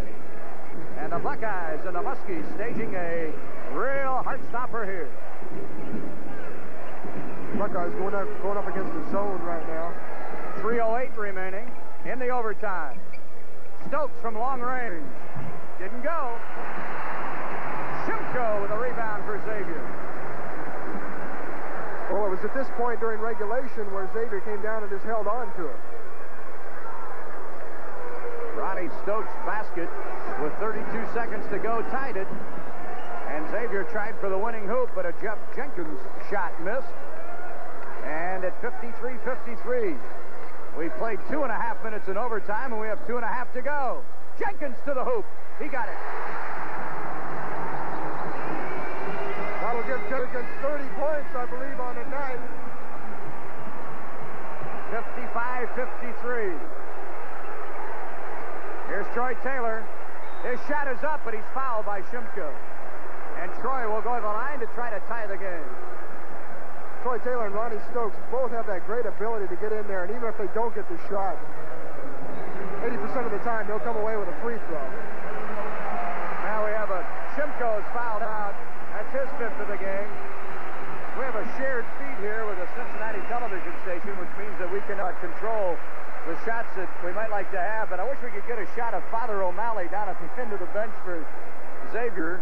He was down on one knee on that last play with Shimko fouling. He's doing a little overtime work, not only coaching, but also trying to talk to the Lord to see if he can't bring the Muskies to a win here.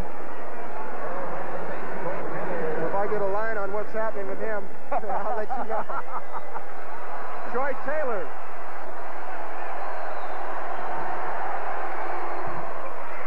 One-point game.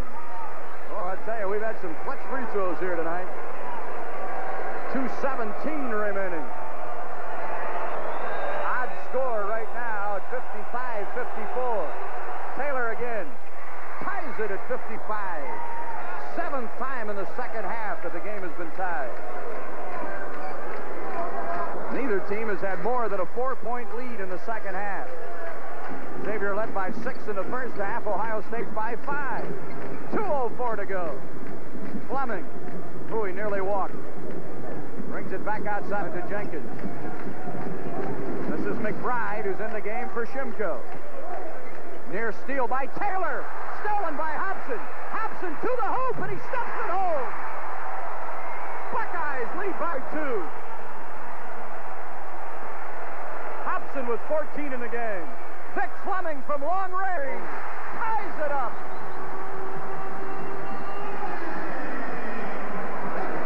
I'll tell you, any, any little edge that a team gets, they're converting it.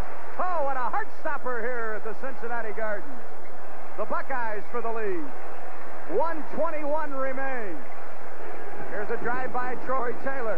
He backs away, takes it to the hoop, puts it up, and he doesn't get it. Loose on the deck and picked up by Harris.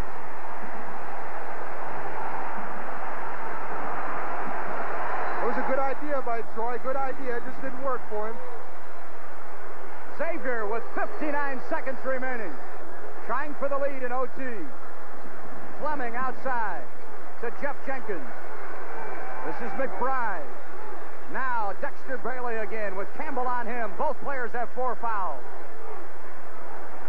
42 seconds remain. First overtime here. McBride to Bailey. Campbell almost fouled. Bailey double teamed and he gets it off to Fleming.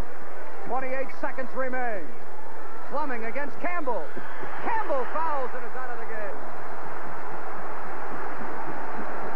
You know, John, that almost looked like it was designed. I don't think Ohio State wanted Xavier to have the last shot in this ball game. No matter what happens right now at the free throw line, I think Ohio State wants to control their own fate at the other end.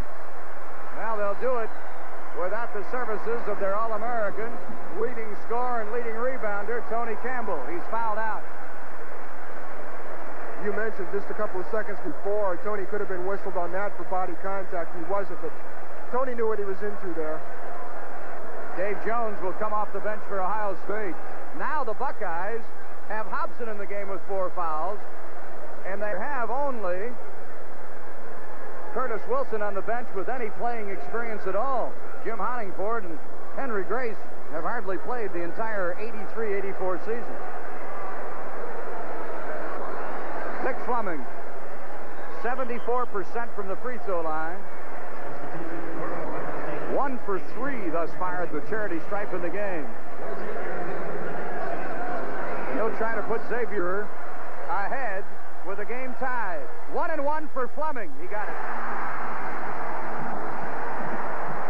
Boy, is he cool, huh? 23 seconds remain. 58-57. Fleming again. Didn't go. Rebound, Dave Jones. Ohio State could win the game on a last shot.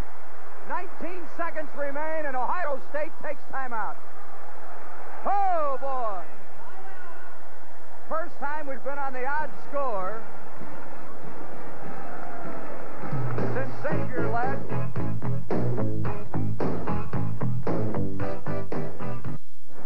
All right, here's the. Put Ohio State tied, and they'll put him in the lead at that time. That's right. Dennis has played a heck of a ball game tonight. Really, you didn't know that he was a freshman. You'd swear he was a junior or senior the way he's been performing tonight. 16 seconds remain, and Ohio State really at this moment, although trailing by one, controls their own destiny. That they do. It's all up to them. They can win it or lose it, and they will decide which way they go. All right, Troy Taylor will inbound to Ronnie Stokes. The clock is winding down. Hopson to Stokes. To Taylor. Taylor to the hoop. Shot up. Doesn't go. Rebound battle. Whistle and a foul on Dexter Bailey. He's out of the game with four seconds to go. And Ohio State's at the free throw line to win the game. Oh, my goodness.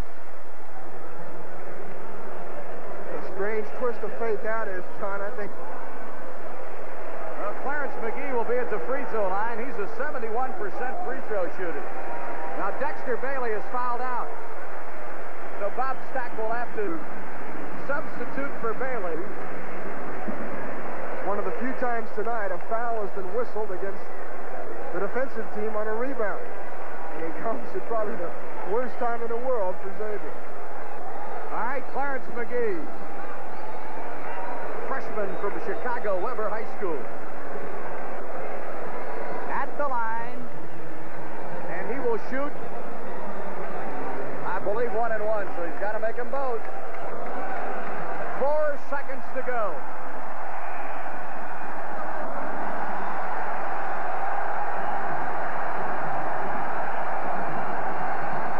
Here's McGee. It's up. Didn't get it. Xavier fouled. Two seconds to go.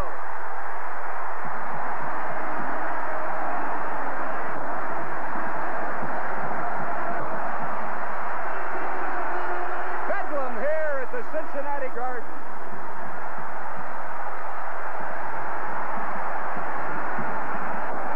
Two seconds to go. Xavier's at the free throw line. They should win it.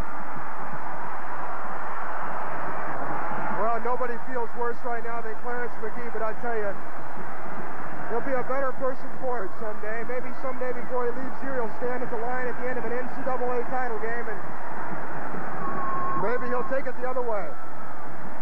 Now Fleming, who just made one of two to put Xavier ahead 58-57, is back at the free throw line. And you don't hold much chance for Ohio State right now. If Fleming two, it's all over. Buckeyes could have a last-second shot that now would send the game to double overtime. And if he makes this one, The roof's going to go off the Cincinnati Gardens here. That's it. It'll be Xavier advancing to the second round of the NIT. Ohio State's called timeout, but I really don't give them a whole lot of chance to get back into this one. No, you John, if we were still working with a three-point shot this year, that would change a lot of things, but we're not. There's no use looking back. Now, McGee has mentioned 71% from the free throw line. He had hit 20 of 28 during the regular season. Now they're calling Xavier out.